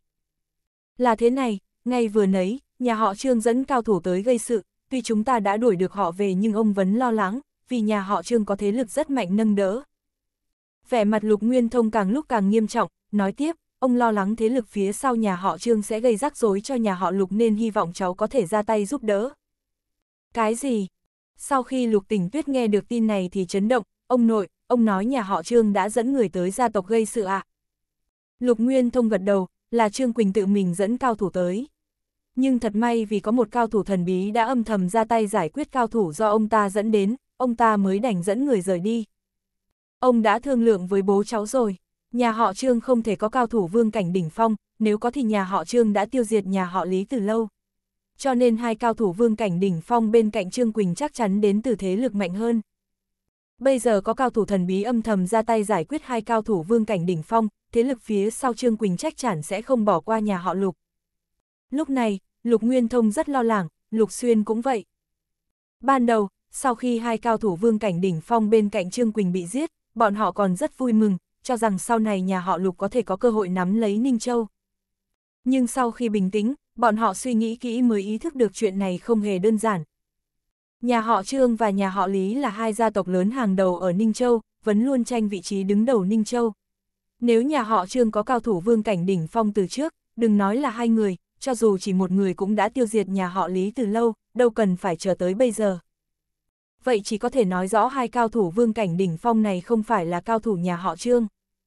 Mà hai bố con Lục Nguyên Thông và Lục Xuyên Vân cho rằng cao thủ thần bí ra tay trước đó là người âm thầm bảo vệ Dương Thanh. Bất kể Dương Thanh có thể đối phó được với thế lực phía sau nhà họ Trương hay không, bọn họ tin tưởng thế lực đó vẫn sẽ đối phó với anh, tới lúc đó cao thủ phía sau anh tuyệt đối không bỏ qua cho đám người này. Cho nên bọn họ nghĩ Dương Thanh là người duy nhất có thể cứu được nhà họ Lục. Hai cao thủ vương cảnh đỉnh phong. Lục tình tuyết hoảng sợ, trong thế giới của cô ta, ông Tề với thực lực vương cảnh trung kỳ đã là người rất mạnh rồi. Cô ta chưa từng gặp cao thủ vương cảnh hậu kỳ, cũng chỉ nghe nói nhà họ Lý và nhà họ Trương có. Nhưng bây giờ Lục Nguyên Thông lại nói hai cao thủ vương cảnh đỉnh phong do Trương Quỳnh dẫn đến vừa bị một cao thủ thần bí giết chết. Mục Thiên Thiên cũng chấn động, thật lâu sau mới không nhịn được nói, cao thủ vương cảnh đỉnh phong mạnh tới mức nào. Không ngờ người lợi hại như thế lại bị giết chết. Dương Thanh bình tĩnh nhìn về phía Lục Nguyên Thông nói, ông yên tâm, nếu nhà họ Lục thật sự gặp nguy hiểm, cháu sẽ ra tay. Ha ha, được, vậy cảm ơn cháu. Lục Nguyên Thông kích động, vội vàng nói cảm ơn. Chỉ cần Dương Thanh băng lòng ra tay, nhà họ Lục chắc chắn có thể đối phó được với thế lực phía sau Trương Quỳnh. Đến lúc đó, bọn họ lại có cơ hội đứng đầu Ninh Châu. Không được. Nào ngờ Lục Tình Tuyết lập tức phản đối, ông nội, ông cũng nói hai cao thủ vương cảnh đỉnh phong của thế lực phía sau nhà họ Trương đã chết. Nếu bọn họ tới nhà họ Lục, chắc chắn sẽ phái ra cao thủ càng lợi hại hơn. Dù anh ấy rất lợi hại nhưng không thể là đối thủ của họ được. Ông bảo anh ấy ra tay là đang hại anh ấy đấy. Mục Thiên Thiên cũng vội vàng gật đầu, đúng vậy, đúng vậy, cháu nghe nói mạnh hơn vương cảnh đỉnh phong là bán bộ thần cảnh, lên nữa chính là cao thủ thần cảnh. Ông Lục vừa nói một cao thủ thần bí giết hai cao thủ vương cảnh đỉnh phong của thế lực phía sau nhà họ Trương, vậy thực lực của cao thủ thần bí này ít nhất phải là bán bộ thần cảnh, thậm chí là thần cảnh. Thế lực phía sau nhà họ Trương không thể không nghĩ tới điểm này. Nếu họ muốn tới nhà họ Lục thì chắc chắn sẽ phái ra cao thủ bán bộ thần cảnh, thậm chí là cao thủ thần cảnh. Sao anh ấy có thể đối phó được chứ? Hai chị em ra sức phản đối, các cô tuyệt đối sẽ không để cho Dương Thanh phải mạo hiểm. Sắc mặt Lục Nguyên Thông và Lục Xuyên rất khó coi. Bọn họ khó khăn lắm mới nhận được sự đồng ý của Dương Thanh, kết quả không ngờ Lục Tinh Tuyết và Mục Thiên Thiên lại đưa ra ý kiến phản đối. Bọn họ sợ rằng Dương Thanh đổi ý, Lục Xuyên tức giận quát, câm miệng. Hai đứa biết cái gì chứ? Hai đứa hoàn toàn không biết gì về sự lợi hại của cậu ấy. Bây giờ nhà họ Lục đang trong lúc sống chết tôn vong, nếu cậu ấy không ra tay thì nhà chúng ta sẽ bị tiêu diệt đấy. Lẽ nào hai đứa muốn trơ mắt nhìn người nhà họ Lục bị thế lực phía sau nhà họ Trương giết sạch à? Sau khi quát măng Lục Tỉnh Tuyết và Mục Thiên Thiên, Lục Xuyên vội vàng nhìn về phía Dương Thanh nói với vẻ cầu xin, chú đoán cháu có lai lịch không tầm thường, thực lực mạnh mẽ, bây giờ chỉ có cháu mới có khả năng cứu được nhà họ Lục thôi. Chú xin thầy cháu tình mấy ngày qua mà ra tay che chở cho nhà họ Lục, nhà chú sẽ vô cùng biết ơn. Lục Nguyên Thông cũng vội vàng cầu xin.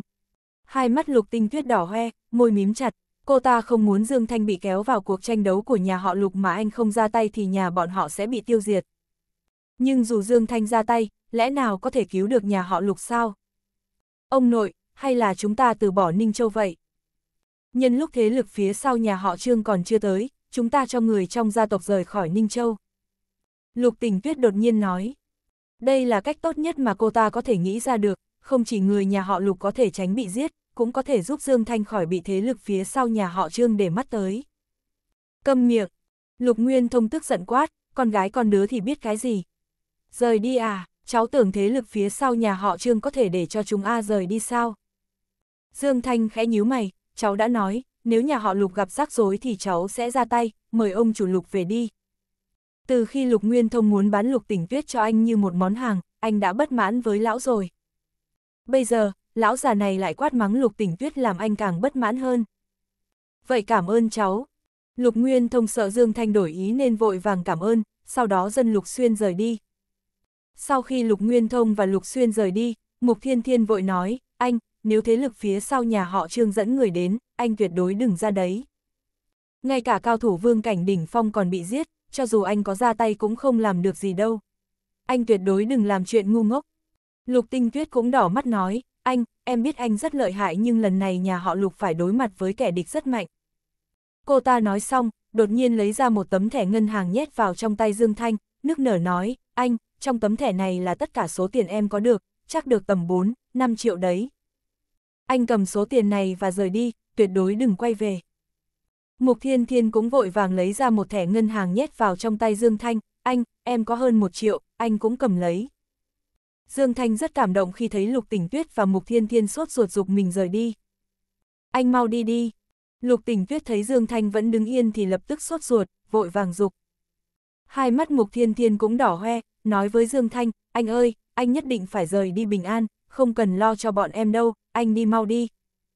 Dương Thanh lắc đầu, trả tấm thẻ ngân hàng lại cho Lục Tỉnh Tuyết và Mục Thiên Thiên rồi dịu dàng nói, sao anh có thể bỏ các em lại mà đi được chứ? Anh đừng làm chuyện ngu ngốc, bọn em không có cách nào rời đi nhưng với thực lực của anh, muốn rời khỏi đây vẫn rất dễ dàng, Lục Tinh Tuyết còn chưa nói xong đã bị Dương Thanh ngắt lời, được rồi, các em không cần khuyên nữa, anh sẽ không rời đi đâu. Các em yên tâm, nếu thế lực phía sau nhà họ Trương thật sự dám đến nhà họ Lục, anh chắc chắn sẽ không bỏ qua cho chúng. Lúc này, vẻ mặt Dương Thanh ngạo nghễ, trên người lộ ra sự uy nghiêm. Lục Tinh Tuyết và Mục Thiên Thiên nhìn tới ngây người, dường như có thể thấy trên người Dương Thanh phát sáng. Anh! Lục Tinh Tuyết Vân muốn khuyên nhưng bị Dương Thanh ngắt lời, các em tin anh không? Đương nhiên bọn em tin anh nhưng bây giờ không phải là vấn đề tin hay không. Anh không biết cao thủ vương cảnh đỉnh phong mạnh tới mức nào đâu. Lục tình tuyết đỏ mắt nói, em nghe nói, cho dù là chủ của năm vương tộc lớn Chiêu Châu cũng chỉ có thực lực vương cảnh đỉnh phong. Lần này, đối thủ thật sự rất mạnh đấy. Nhưng mặc kệ Lục Tình Tuyết và Mục Thiên Thiên khuyên thế nào, Dương Thanh vẫn không chịu rời đi. Lúc này, Lục Nguyên Thông và Lục Xuyên cũng đang lo lắng. Bọn họ có thể cảm giác được thế lực phía sau nhà họ Trương sắp tới. Bố, bố nói xem cậu nhỏ có ra tay giúp chúng A không? Lục Xuyên lo âu hỏi. Lục Nguyên Thông thở dài và lắc đầu, bố không thể nói chắc được. Chỉ sợ bây giờ con bé tỉnh tuyết đang khuyên cậu ấy rời đi. Nếu cậu ấy rời đi thật, nhà họ Lục sẽ không còn khả năng chống lại. Đứa con gái bất hiếu này. Lục Xuyên giận tới run người. Nhưng ông ta không thể làm gì, có Dương Thanh ở đó, bọn họ thật sự không dám làm gì Lục Tỉnh Tuyết. Cùng lúc đó, một đoàn xe hơi sang trọng gồm mấy chiếc xe Rolls Royce đang lao nhanh tới nhà họ Lục. Rất nhiều gia tộc lớn Ninh Châu đều đã biết chuyện vừa xảy ra ở nhà họ Lục. Bây giờ, nhà họ Lý đã bị tiêu diệt, cao thủ vương cảnh đỉnh phong được Trương Quỳnh dẫn tới nhà họ Lục cũng bị giết. Nhất thời, các gia tộc lớn trong cả Ninh Châu đều tập trung chú ý vào nhà họ Lục. Dương Thanh đứng trước cửa sổ sát đất trong căn biệt thự sang trọng của Lục Tỉnh Tuyết, nhìn mây đen che kín bầu trời, trong lòng có chút buồn bực. Anh không biết tại sao luôn thấy buồn bực, cảm giác chỉ thiếu một chút nữa thôi là ký ức của mình sẽ khôi phục, giống như gà con sắp phá vỏ chui ra vậy. Vỏ trứng đã có vết nứt, chỉ cần anh cố gắng thêm một chút là có thể phá vỡ vỏ trứng. Nhưng anh không có cách nào dùng sức, chỉ cần vừa dùng sức là đầu đau như muốn vỡ ra, không sao chịu nổi. Tới rồi. Đúng lúc này, Dương Thanh đột nhiên nhìn về phía lối vào của trang viên nhà họ Lục và nói. Ông chủ, không xong rồi, Trương Quỳnh lại dẫn người đến. Một người giúp việc hoảng sợ xông vào trong phòng của Lục Nguyên Thông và kêu to. Cuối cùng vẫn phải đối mặt sao? Vẻ mặt Lục Nguyên Thông nghiêm trọng, chậm rãi đứng dậy và nói, chúng ta đi thôi. Lục Xuyên và ông Tề đi theo hai bên người lão. Cao thủ nhà họ Lục đều tập trung ở bên ngoài, Lục Nguyên Thông đứng phía trước, sau lưng còn có rất nhiều người. Bọn họ chỉ thấy từng chiếc xe Rolls Royce lần lượt chạy vào và đổ lại trong trang viên nhà họ Lục. Ngay sau đó, Trương Quỳnh từ trong một chiếc xe bước ra. Lục Nguyên Thông hoảng sợ khi thấy lão ta vội vàng chạy tới một chiếc xe hơi sang trọng bên cạnh, tự mình mở cửa xe ra, người hơi cúi xuống nói với vẻ nịnh nọt, Bạch Vương, chúng ta đã tới nhà họ Lục rồi. Ngài bước chậm thôi. Âm. Giờ phút này, đầu óc Lục Nguyên Thông chấn động mạnh, vẻ mặt tuyệt vọng. Trương Quỳnh là một trong hai chủ gia tộc mạnh nhất ở Ninh Châu, bây giờ lại đi mở cửa cho người khác giống như một con chó Nhật. Quan trọng hơn, Trương Quỳnh còn gọi đối phương là Bạch Vương. Khắp cả Chiêu Châu có mấy người có thể được gọi là Vương. Bạch Vương, đó không phải là chủ của vương tộc họ Bạch một trong năm vương tộc lớn ở Chiêu Châu sao? Lục Xuyên cũng tuyệt vọng và hoảng sợ nói, sao, sao có thể như vậy được? Cửa xe mở ra, một lão già với mái tóc bạc mặc trang phục truyền thống từ trong xe bước ra. Tiết Vương, ngài chậm một chút. Mã Vương, ngài chậm một chút. Trương Quỳnh đón Bạch Vương xong lại tự mình đi mở cửa xe cho Tiết Vương và Mã Vương. Ban đầu, Lục Nguyên Thông còn tưởng chỉ có một mình Bạch Vương, khi nghe thấy Trương Quỳnh gọi Tiết Vương và Mã Vương, gương mặt càng tái hơn. Hôm nay, không ngờ chủ của ba trong năm vương tộc lớn ở Chiêu Châu đồng thời tới nhà họ Lục. Nhà họ Lục đúng là có thể diện. Cung kính đón Bạch Vương. Cung kính đón Mã Vương. Cung kính Tiết Vương. Người nhà họ Trương đều quỳ một chân xuống đất và la lớn, giọng nói chấn động cả trời đất. Lục Nguyên Thông, tôi lại tới rồi. Trương Quỳnh cười híp mắt nhìn về phía Lục Nguyên Thông với vẻ trêu tức.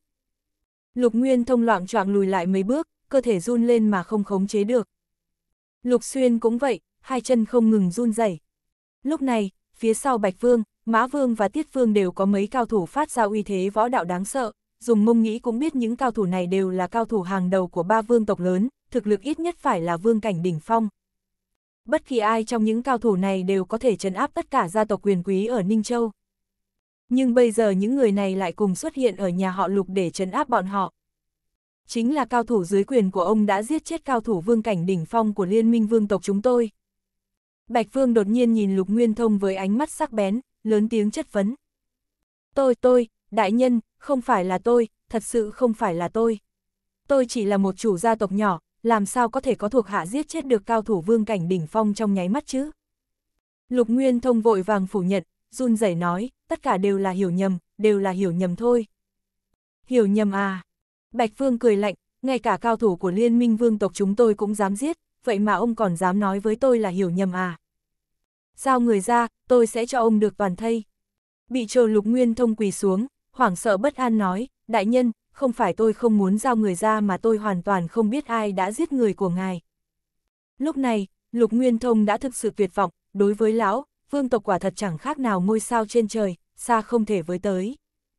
Mà nay, chủ của ba trong năm vương tộc của Chiêu Châu đích thân dẫn theo các cao thủ tới nhà họ lục của lão để đòi người. Không biết. Bạch Vương cười nhạt, nếu đã không biết, vậy giết sạch người nhà họ lục đi. Tôi muốn xem xem, tay cao thủ từng giúp đỡ nhà họ lục lần trước có đồng ý lộ mặt hay không. Nghe vậy, lục nguyên thông tuyệt vọng kêu khóc, đại nhân, cầu xin ngài cho nhà họ lục tôi một đường sống đi.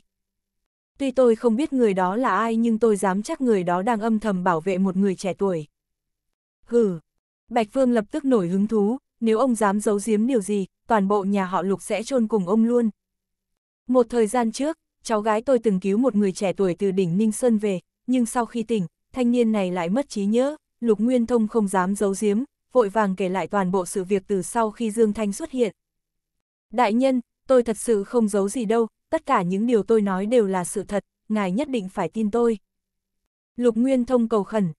Bạch Vương không nói gì, chỉ nhìn sang phía Tiết Vương và Mã Vương, đáy mắt ba người đều lộ vẻ căng thẳng.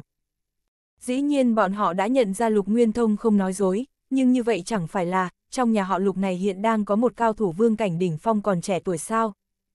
Không chỉ có thế, bên cạnh người thanh niên này còn có một cao thủ mạnh hơn đang âm thầm bảo vệ. Lục Nguyên Thông, ông thật to gan, dám lừa dối các vị đại nhân đây. Ba vị vương của liên minh vương tộc biết Lục Nguyên Thông không nói dối, nhưng Trương Quỳnh không biết, ông ta phân nộ quát lên, ông lừa ai đấy hả? Một gã thanh niên chỉ mới 27, 28 mà lại có thực lực vương cảnh đỉnh phong à. Một người có thiên phú võ thuật cỡ đó, chỉ e trong hoàng tộc cũng chưa chắc đã có đâu. Trương Quỳnh châm chọc nói. Thưa các vị đại nhân, tôi không lừa các ngài, tôi nói thật đấy ạ, lục nguyên thông sốt ruột, vội vã biện giải. Đám bạch vương đều lộ vẻ căng thẳng ra mặt, lúc này trong đầu họ đều xuất hiện một người.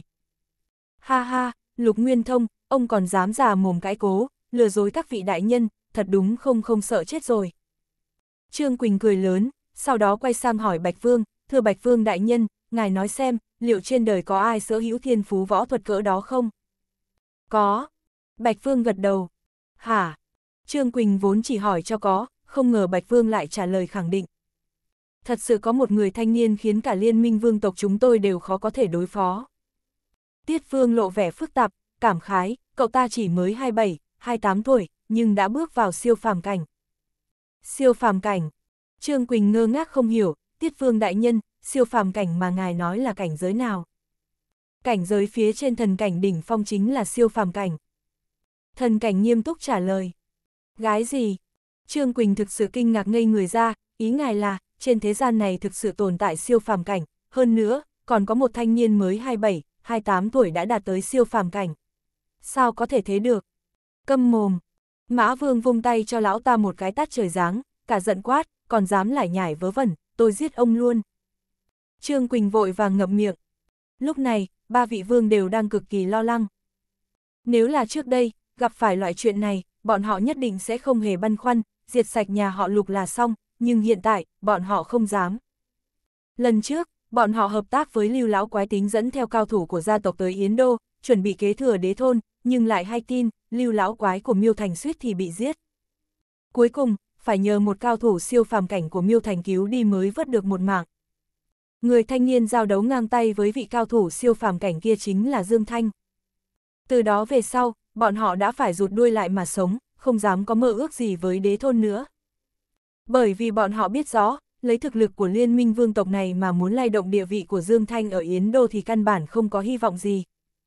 Cho nên, cuối cùng bọn họ đành rời khỏi Yến Đô, dự định tranh thủ lúc cuộc diện của Chiêu Châu đang dung chuyển, nhanh chóng thâu tóm một số gia tộc lớn ở các địa phương khác. Đời này bọn họ đều không muốn gặp lại Dương Thanh một lần nữa. Nhưng ngày hôm nay, bọn họ lại nghe tới một người trẻ tuổi có thực lực vương cảnh đỉnh phong đang ở trong nhà họ Lục, điều này khiến bọn họ bối rối, không biết nên xử lý thế nào. Một gã thanh niên có thực lực vương cảnh đỉnh phong thì sau lưng nhất định phải có một thế lực cực mạnh. Ông đi mời cậu thanh niên kia ra đây. Bạch Phương trầm giọng bảo. Hả? Lúc này, Lục Nguyên Thông đã dại mặt ra, lão đã chuẩn bị sẵn tỉnh thần chịu chết, lại không ngờ Bạch Vương chỉ bảo lão đi mời Dương Thanh ra gặp. Tôi cho ông 5 phút, nếu người trẻ tuổi mà ông vừa nói không ra mặt thì nhà họ Lục chuẩn bị tinh thần bị diệt sạch đi. Bạch Vương lạnh lùng nói.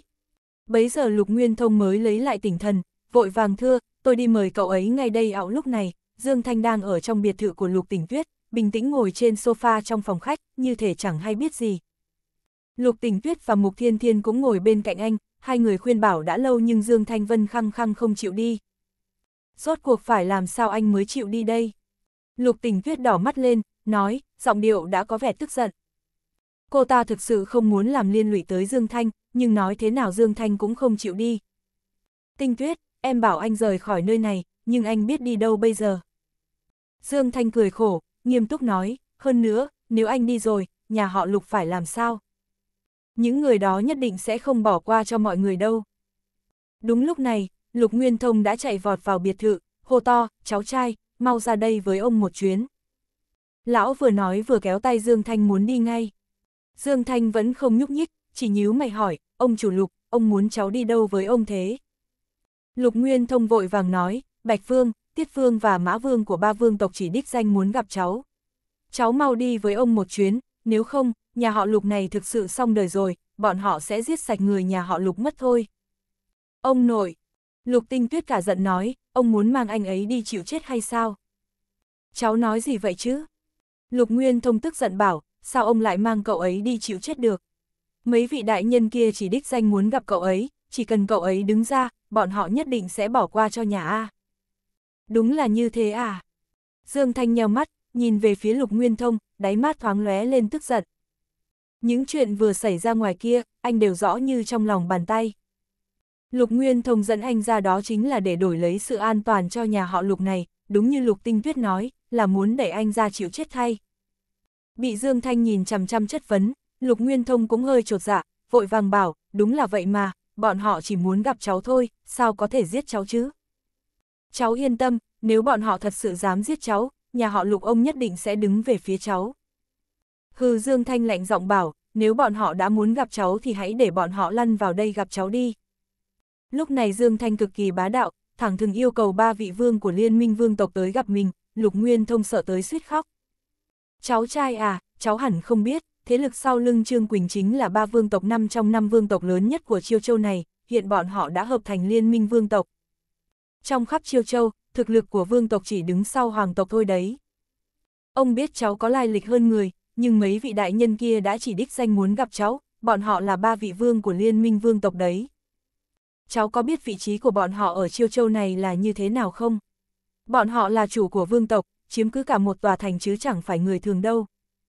Lục Nguyên Thông đau khổ cầu khẩn, vẻ mặt đáng thương, cháu trai, coi như ông xin cháu, cháu đi với ông ra gặp bọn họ đi, nếu không nhà họ Lục sẽ thực sự bị hủy diệt mất thôi. Cầu xin cháu nể tình nhà họ Lục có ơn cứu mạng cháu, giúp nhà ông lần này đi, được không?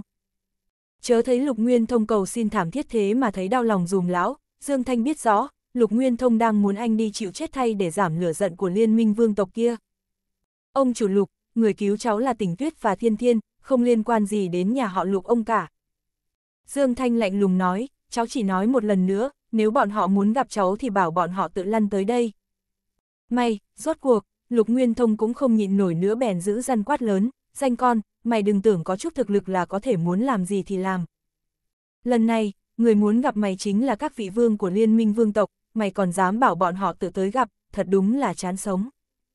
Nếu mày đã muốn chết thì tao sẽ giúp mày một tay, để tao đi nói lại với họ, cho họ biết mày ngông cuồng cỡ nào. Dứt lời, lão hầm hầm bỏ đi. Lục Nguyên Thông vừa nhấc chân đi, Lục Tỉnh Tuyết và Mục Thiên Thiên lập tức nóng ruột. Anh đi mau đi, tranh thủ lúc bọn họ còn chưa tới, anh vẫn còn cơ hội trốn đi. Lục Tinh Tuyết cầm tay Dương Thanh, kích động nói. Mục Thiên Thiên cũng lộ vẻ sốt ruột, khuyên bảo, anh chịu khó nghe chị Tỉnh Tuyết, mau rời khỏi đây đi, vương tộc rất mạnh, người thường như chúng ta không thể nào đối phó được đâu.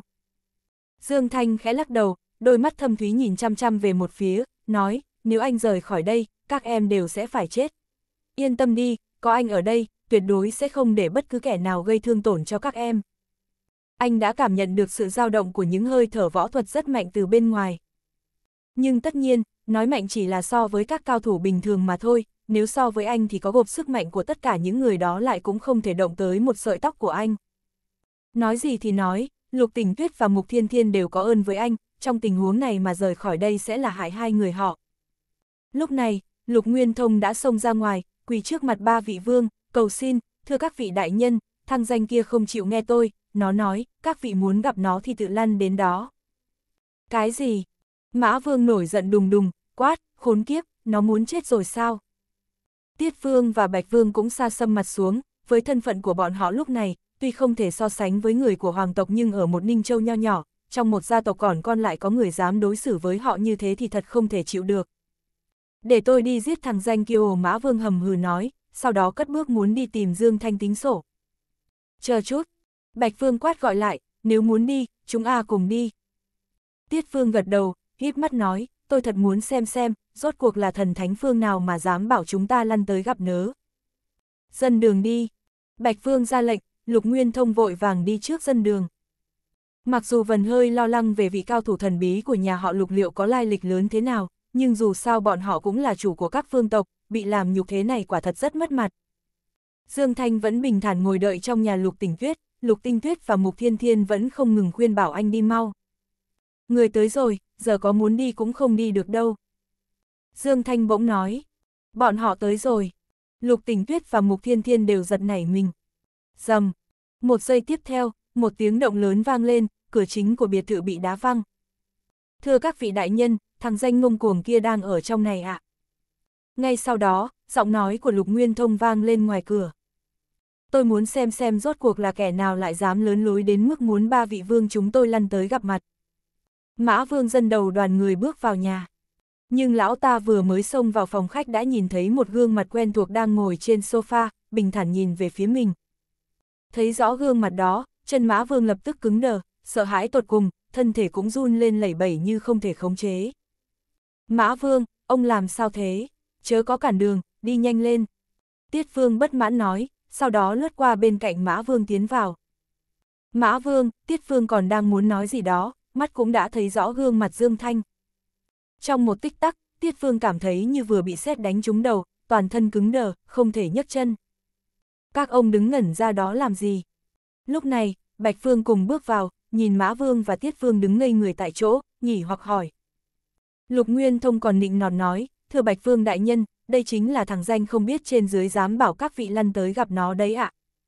Nó chỉ là một thằng vô dụng được cháu gái tôi cứu về mà thôi, ngài không cần nể mặt chúng tôi làm gì, có giết nó cũng không liên quan gì đến nhà chúng tôi đâu ạ. Bạch Phương cười nhạt một tiếng, thế hả? Nhìn theo tay Lục Nguyên thông chỉ, lão ta thấy một bóng người quen thuộc, lập tức, nụ cười như đóng băng lại trên mặt lão ta, một cảm giác lạnh lẽo khủng bố từ gót chân châm chậm leo thẳng lên đỉnh đầu Bạch phương Cậu, cậu Thanh. Bạch phương sợ đến sắp khóc, lão ta nhìn Dương Thanh như vừa nhìn thấy quỷ. Mới trước đó bọn họ còn đang nói với nhau, trừ Dương Thanh ra, trước nay chưa từng thấy vị cao thủ nào chưa tới 30 đã có thể bước vào cảnh giới vương cảnh đỉnh phong. Vốn còn tưởng sắp được thấy vị thiên tài võ thuật thứ hai trên đời, nào ngờ vị thiên tài võ thuật này lại chính là Dương Thanh. Bạch phương các ngài mau giết nó đi ạ, không cần nể mặt nhà họ lục chúng tôi đâu, thăng danh này dám ỉ vào thực lực cao cường mà ngang ngược làm sang làm bậy trong nhà chúng tôi, tôi đã chướng mắt với nó lâu nay. Lục Nguyên Thông vẫn chưa nhận ra ba vị vương đang sợ hãi thế nào, còn luôn miệng chỉ trích Dương Thanh. Vừa thấy ba người kia, Dương Thanh lập tức nhíu chặt mày, không biết vì sao, anh cứ có cảm giác mình đã từng quen biết ba người đó. Người khác có thể không nghe ra, nhưng vừa rồi anh nghe rõ một một, lão già Bạch Vương kia vừa gọi anh là cậu Thanh. Mình tên là Thanh sao? Thấy Dương Thanh chỉ nhìn mình không nói câu nào, ba vị vương đều có cảm giác bị một áp lực cực lớn đè lên trái tim. Từ lần trước, khi tổ chức cuộc đấu tranh ngôi vương của Yến Đô, bọn họ tính tới Yến Đô tính tranh cướp quyền thừa kế đế thôn, nhưng lại nghe nói Dương Thanh đấu với cao thủ siêu phàm cảnh mà không bại, bọn họ đã hoàn toàn gạt bỏ lòng hận thù Dương Thanh rồi. Chớ nói gì đến cao thủ siêu phàm cảnh, chỉ một cao thủ mới bước vào thần cảnh thôi cũng đều có thể dễ dàng tiêu diệt liên minh vương tộc này. Bị trồ bịch, bịch, ngay dưới ánh mắt khiếp sợ của nhà nhà họ Lục, Bạch Vương, Tiết Vương và Mã Vương đều quỳ hai gối xuống đất. Cậu Thanh, chúng tôi không biết cậu đang ở đây, không có ý dám mạo phạm thần uy của cậu, xin cậu thứ tội. Thưa cậu Thanh, chúng tôi biết tội rồi, thực sự biết tội rồi ạ, chỉ cần cậu ra lệnh một tiếng, chúng tôi sẽ cút khỏi Ninh Châu ngay bây giờ. Không chỉ cút khỏi Ninh Châu, chúng tôi có thể về ngay Vương Thành của chúng tôi, thề không bao giờ bước chân ra khỏi Vương Thành nữa, chỉ cầu xin cậu Thanh có thể tha cho chúng tôi một lần. Ba vị vương của liên minh vương tộc đều đồng thanh cầu xin, ai nấy đều sợ hãi ra mặt. Am, cảnh tượng này khiến những kẻ còn lại đều sợ ngây ra. Lục Nguyên Thông còn đang hăng say chỉ trích Dương Thanh, tính đẩy Dương Thanh ra gánh lửa giận của ba vị vương thay cho gia tộc mình, thấy thế bèn trợn to mắt nhìn, vẻ mặt không sao tin nổi. Lục Xuyên cũng trợn chừng hai mắt, tưởng mình đang nằm mơ. Đối với họ, vương tộc chẳng khác nào những gia tộc lớn chỉ có trong truyền thuyết, nhưng lúc này, những vị đứng đầu các gia tộc lớn trong truyền thuyết ấy lại đang quỳ dưới chân Dương Thanh, khẩn khoản cầu xin. Lục Tình Tuyết và Mục Thiên Thiên cũng mở o mắt nhìn, há hốc miệng vì quá khiếp sợ. Thấy ba vị vương như vậy, đáy mắt Dương Thanh thoáng lóe lên một tia mừng rỡ tột cùng, bọn họ nhận ra mình, vậy chẳng phải anh sắp có thể biết được thân phận của mình rồi. Các người nói cho tôi biết, rốt cuộc tôi là ai? Dương Thanh nhìn ba vị vương quỳ dưới chân mình, kích động hỏi. Dương Thanh vừa hỏi, ba vị vương lập tức trợn mắt nhìn nhau, lát sau mới hoảng hồn bừng tỉnh, chợt nhớ ra, vừa rồi Lục Nguyên Thông đã nói với bọn họ, Dương Thanh mất trí nhớ. Chẳng lẽ, cậu ấy thực sự mất hết ký ức rồi, ngay cả bọn họ là ai cũng không nhớ. Nghĩ tới đây, cả ba đều lộ vẻ mừng rỡ. Dẫu sao hai bên cũng có oán thù rất lớn, nếu Dương Thanh nhớ rõ mọi chuyện, bọn họ hẳn sẽ chết chắc rồi. Lục Tinh Tuyết và Mục Thiên Thiên cũng nhìn về phía ba vị vương, ánh mắt đầy mong đợi, tuy hai cô không rõ vì sao ba vị đại nhân này lại quỳ trước mặt Dương Thanh xin tha, nhưng so với nguyên nhân việc này, các cô càng muốn biết thân phận chân thật của Dương Thanh, muốn biết liệu anh đã lập gia đình hay chưa.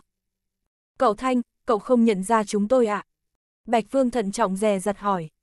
Tiết Vương và Mã Vương cũng chờ mong nhìn về phía Dương Thanh. Dương Thanh nhíu mày, trả lời câu hỏi của tôi đi. Bạch Vương hoảng sợ, vội vàng thưa, tôi nói, ôi xin nói ngay. Cậu Thanh, tên cậu là Dương Thanh, 6 năm trước cậu mới chỉ là một sinh viên vừa tốt nghiệp, tuy cảm thấy may mắn vì Dương Thanh đã mất trí nhớ nhưng Bạch Vương cũng không dám giấu giếm điều gì, thành thật thuật lại toàn bộ sự việc liên quan đến Dương Thanh từ sau khi tốt nghiệp đại học. Lục Tình Tuyết và Mục Thiên Thiên biết Dương Thanh đã kết hôn và có một đứa con gái thì đều lộ vẻ thất vọng lắm. Nhất là Lục Tình Tuyết, nước mắt đã chảy ướt mặt. Cô ta đã sớm nhận ra, mình có tình cảm với người thanh niên mới gặp chưa lâu này, chẳng ngờ Dương Thanh đã kết hôn.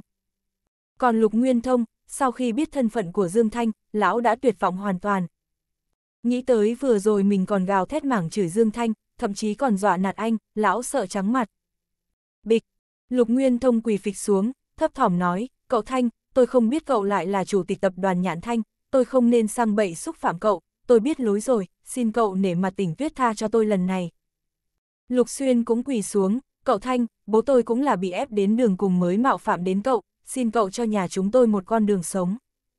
Trương Quỳnh, người đứng đầu nhà họ Trương cùng đi vào đây với bọn họ lúc này cũng đã khiếp sợ tột cùng. Một người thanh niên có thể khiến cho ba vị vương của ba vương tộc quỳ xuống cầu xin như vậy, người này phải có thân phận lớn cỡ nào. Dương Thanh lúc này hoàn toàn không có tâm trạng nghe bọn họ lải nhải, anh chỉ muốn biết tất cả mọi thứ về mình. Anh chỉ vào ba người bọn Bạch Vương, nói, ngoài ba người họ, những người khác ra ngoài hết đi. Vâng, Lục Nguyên Thông vội vàng thưa, sau đó dẫn người nhà mình rời khỏi biệt thự, Trước khi đi, Lục Tinh Tuyết còn nhìn Dương Thanh thật chăm chú một lát mới cất bước ra ngoài. Đợi sau khi những người đó đều đã ra khỏi phòng, trong biệt thự chỉ còn lại Dương Thanh và ba vị vương. Ba vị vương đều lộ vẻ căng thẳng, không biết Dương Thanh giữ bọn họ lại để làm gì. Những điều các ông vừa nói vẫn còn chưa đủ, đúng không? Dương Thanh nheo mắt nhìn về phía ba người, lạnh lẽo nói, nếu tôi đoán không nhầm, giữa tôi và các ông hẳn có mối ân oán nào đó, chỉ cần các ông kể lại toàn bộ những việc liên quan đến tôi cho tôi biết, những ân oán giữa chúng ta coi như xóa bỏ nghe vậy, ba vị vương đều thoáng do dự. Không phải bọn họ không tin lời Dương Thanh lúc này mà chỉ lo sợ về thái độ của Dương Thanh sau khi khôi phục ký ức. Nếu bây giờ lừa dối một chút, bọn họ còn có thể rời khỏi đây, về vương thành của mình, cũng có thể an tâm sống nốt quãng đời còn lại. Nhưng nếu bây giờ kể lại hết cho Dương Thanh, Dương Thanh thật sự sẽ bỏ qua cho bọn họ sao? Như thể đã nhìn ra suy nghĩ của bọn họ, một luồng uy lực võ thuật khủng bố đột nhiên tràn ra từ trên người Dương Thanh, nháy mắt đã bao trùm ba vị vương. Nếu không chịu nói, tôi sẽ giết các ông ngay bây giờ. Dương Thanh đe dọa. Nói xong, luồng khí thế kia lập tức biến mất. Ba vị vương như vừa dạo qua quỷ môn quan một vòng, há miệng ra sức hô hấp, còn người tràn đầy sợ hãi. Thực ra, vừa rồi chúng tôi có giấu một ít chuyện, Bạch Vương không dám tiếp tục giấu giếm, đành phải kể tỉ mỉ cho Dương Thanh nghe. Lão kể lại toàn bộ sự việc, cả chuyện liên minh vương tộc bọn họ bắt tay với lưu lão quái của Miêu Thành, nỗ lực giết Dương Thanh, sau đó bọn họ ở giữa ngư ông đắc lợi. May mãn thay, dù đã kể toàn bộ mọi chuyện, Dương Thanh vẫn không hề nổi giận, sạc mặt vẫn bình thản như trước. Cậu Thanh, trước kia chúng tôi quá ngu xuẩn, không biết cậu mạnh đến thế, hiện chúng tôi đã biết rồi, từ nay về sau tuyệt đối sẽ không gây chuyện phiền phức với cậu nữa đâu. Bạch Vương vội bảo đảm, xin cậu rộng lượng bỏ qua cho chúng tôi một lần, sau này, liên minh vương tộc chúng tôi sẽ chỉ tuân theo lệnh của cậu mà làm việc.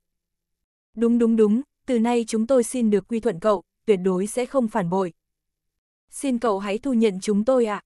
Tiết Vương và Mã Vương cũng vội vàng lên tiếng phụ họa.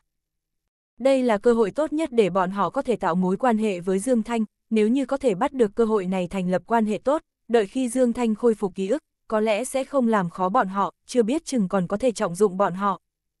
Dương Thanh không đáp, chỉ trầm mặc suy tư, không rõ là đang nghĩ gì.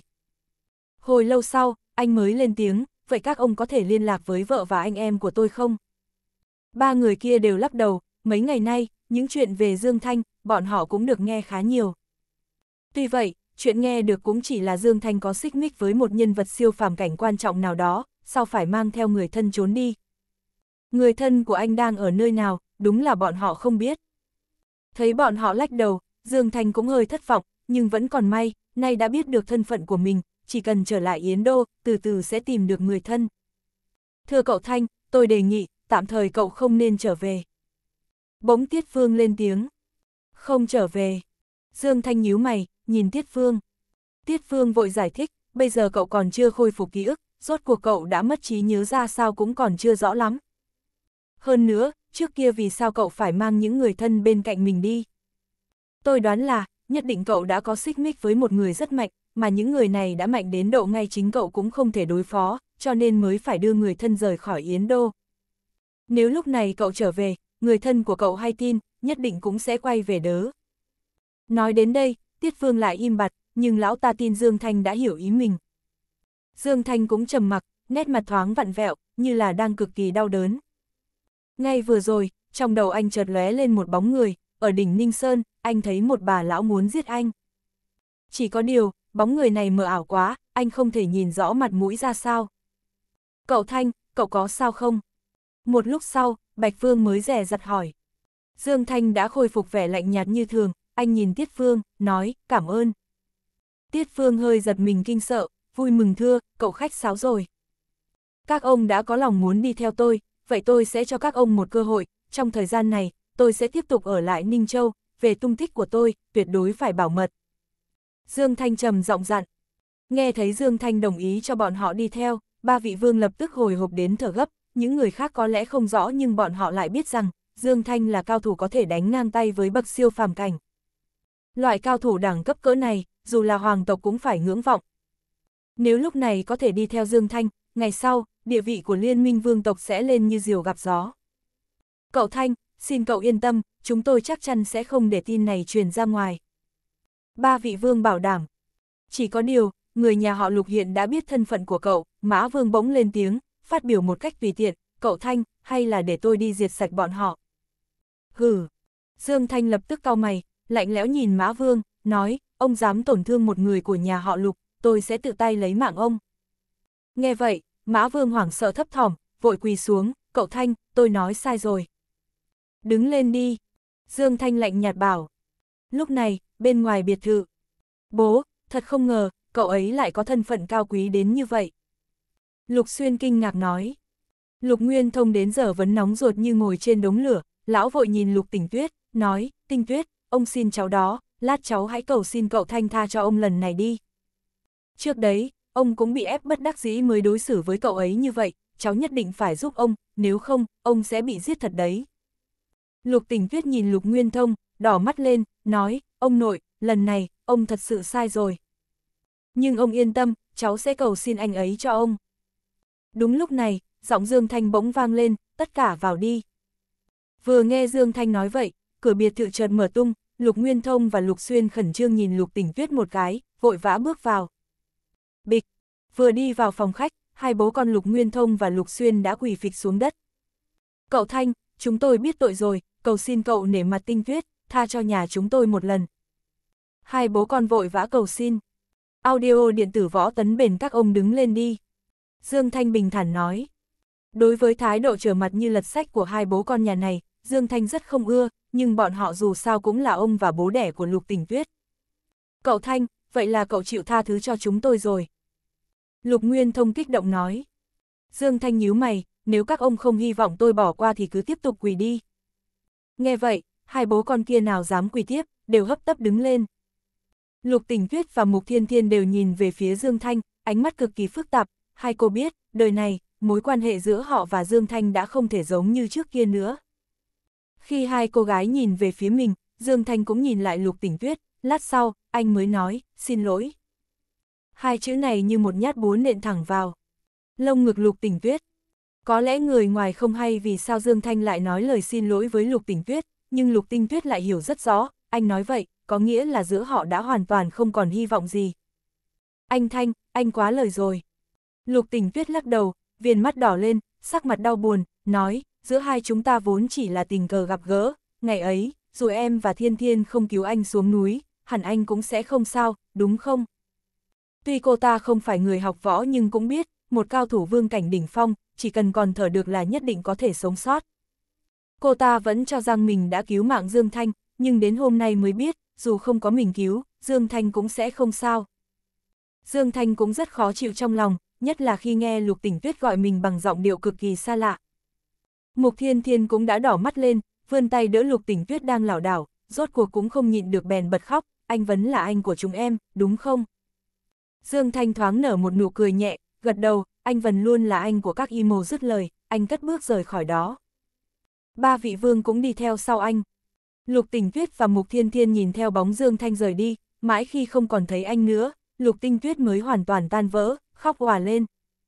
Chị! Mục Thiên Thiên ôm chặt lấy Lục Tinh Tuyết. Cậu Thanh, bây giờ cậu định đi đâu? Lên xe, Bạch Vương mới hỏi. Dương Thanh suy nghĩ một lát, mới nói, tới khu vực gần Ninh Sơn, tìm một chỗ yên tĩnh, tạm thời ở lại một thời gian ngắn. Vâng, Bạch Vương vội thưa. Xe chậm rãi rời khỏi nhà họ Lục, đã đi rất xa, Dương Thanh bỗng thở dài một tiếng, dặn, tuyên bố ra một tin, sau này nhà họ Lục ở Ninh Châu đã xưng vương, ai dám không theo, giết không tha. Vâng, ba vị vương vội vàng đáp. Dương Thanh biết, đây là chuyện cuối cùng anh có thể làm cho Lục tỉnh tuyết. Nửa tiếng sau, xe dừng lại ở một căn nhà nhỏ trên đỉnh Ninh Sơn, nơi này cực kỳ yên tĩnh, bốn phía không một bóng người, rất hợp để Dương Thanh ở tạm. Cậu Thanh, cậu còn điều gì cần sai bảo không ạ? Trong phòng, ba vị vương đứng trước mặt Dương Thanh, cung kính hỏi. Dương Thanh lắc đầu, các ông đi trước đi, tôi ở tạm chỗ này một thời gian. Ba vị vương nhìn nhau, sau đó nhanh chóng rời đi. Chỉ lát sau, trong biệt thự thanh thang này, chỉ còn lại một mình Dương Thanh. Anh đứng trên một tảng đá lớn, chắp tay sau lưng, mắt nhìn về phương xa, đáy mắt lại dâng lên đôi chút lo lắng. Anh phải rời khỏi nhà họ lục ngay là vì không muốn làm liên lụy nhà bọn họ, bởi khi anh vẫn còn ký ức đã cố tình sắp xếp cho người bên cạnh rời xa mình, như vậy chắc chắn là vì anh đã động đến một nhân vật nguy hiểm nào rồi. Hôm nay, anh còn sống, một khi kẻ thù của anh biết, bọn chúng nhất định sẽ tới báo thù. Nếu anh còn tiếp tục ở lại nhà họ lục thì chỉ e đến khi đó, gia tộc bọn họ sẽ bị diệt sạch. Cùng lúc này, ba vị vương đã rời khỏi đỉnh Ninh Sơn. Bạch Vương, bây giờ chúng ta nên làm gì đây? Mã Vương nghiêm nghị hỏi. Bạch Vương không nói gì, chỉ đưa mắt nhìn sang Tiết Vương.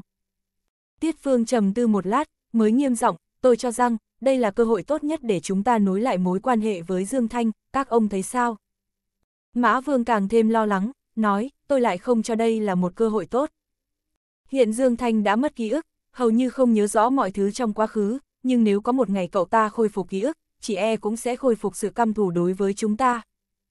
Dù bây giờ chúng ta có ân cần nịnh bợ hơn nữa, tôi chỉ sợ sau khi nhớ lại, cậu ta sẽ không bỏ qua cho chúng ta đâu. Tiết Vương nhíu mày, vậy theo ý Mã Vương, chúng ta nên làm thế nào là hợp lý nhất? Đáy mắt Mã Vương thoáng lóe lên một tia sáng lạnh, lão ta nghiến răng nghiến lợi nói, tiêu diệt luôn, khỏi để họa sau này. Tiết Vương và Bạch Vương đều hít mạnh một hơi, xem ra, Mã Vương vẫn còn rất nặng lòng với ý tưởng giết Dương Thanh.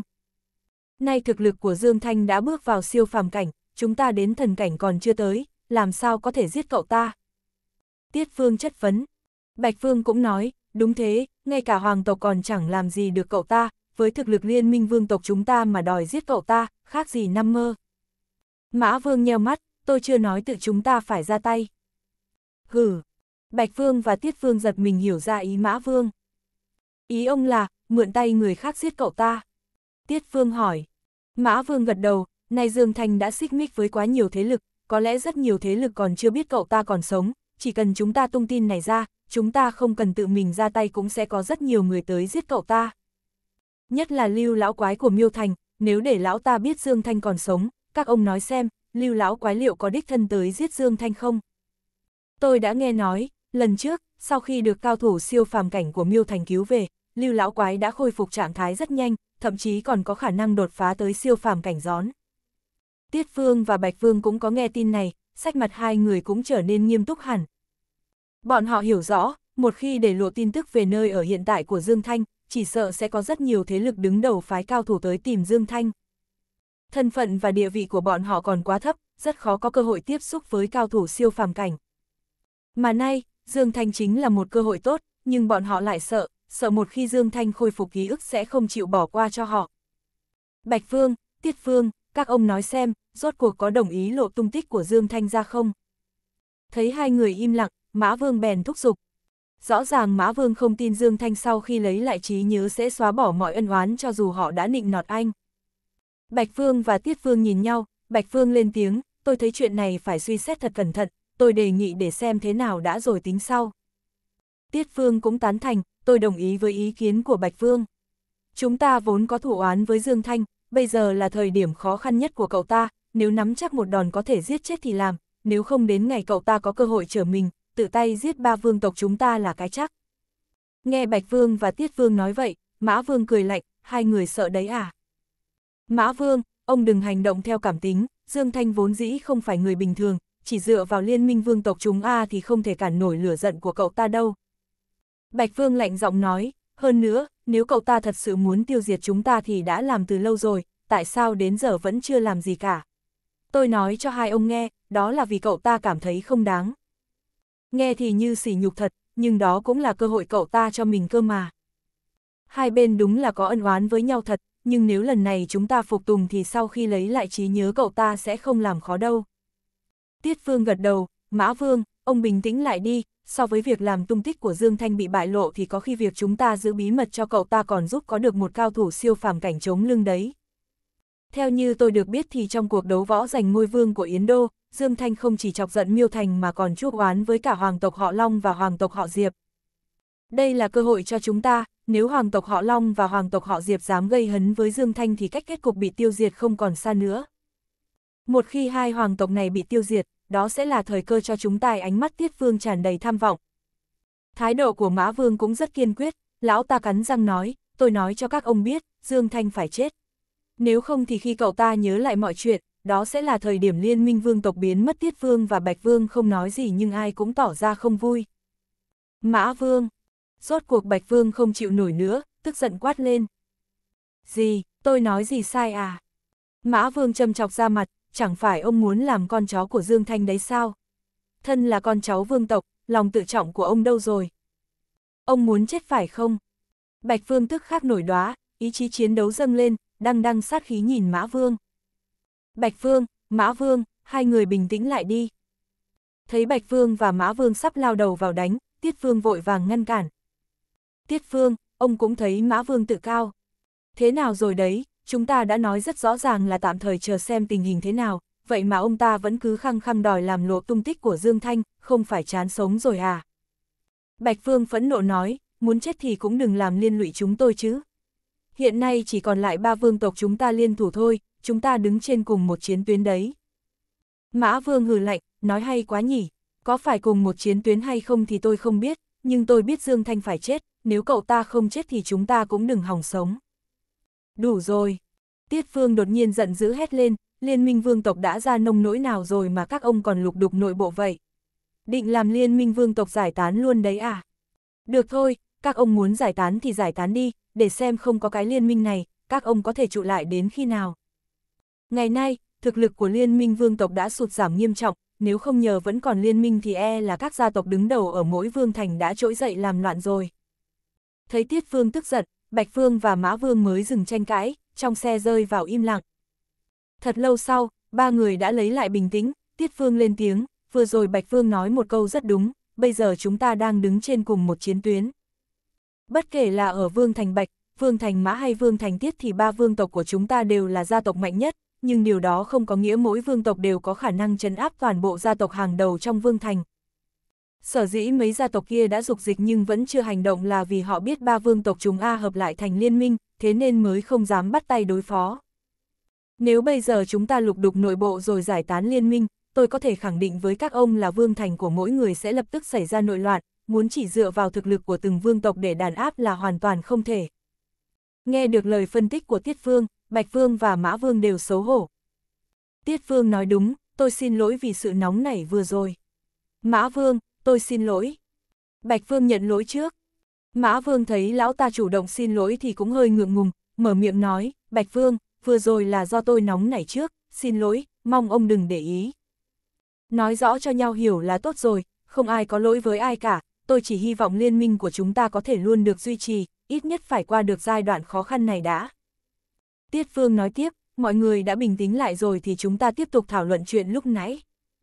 Không cần thảo luận nữa, vừa rồi tôi do hành động theo cảm tính, nóng lòng muốn Dương Thanh chết quá nên mới khăng khăng đòi tiết lộ tung tích của cậu ta.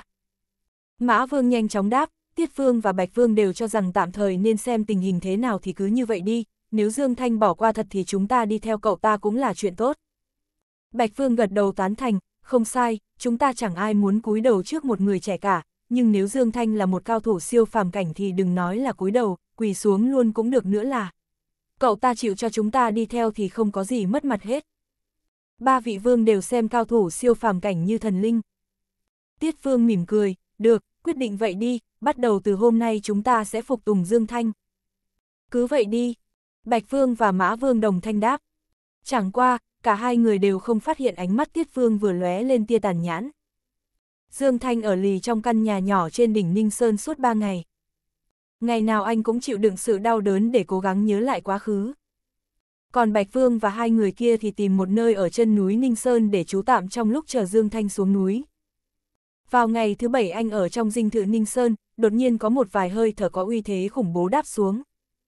Trong lúc nhất thời, toàn bộ Ninh Sơn bị bao phủ bởi khí thế võ đạo hừng hực. Có chuyện gì vậy? Ở dưới chân núi, Bạch Vương hoảng hồn lao ra ngoài nhà. Mã Vương và Tiết Vương cũng chạy ra, sợ hãi nhìn về phía đỉnh Ninh Sơn, mười mấy cao thủ bừng bừng khí thế đang bao vây căn nhà nhỏ ở dưới chân núi, Bạch Vương hoảng hồn lao ra ngoài nhà.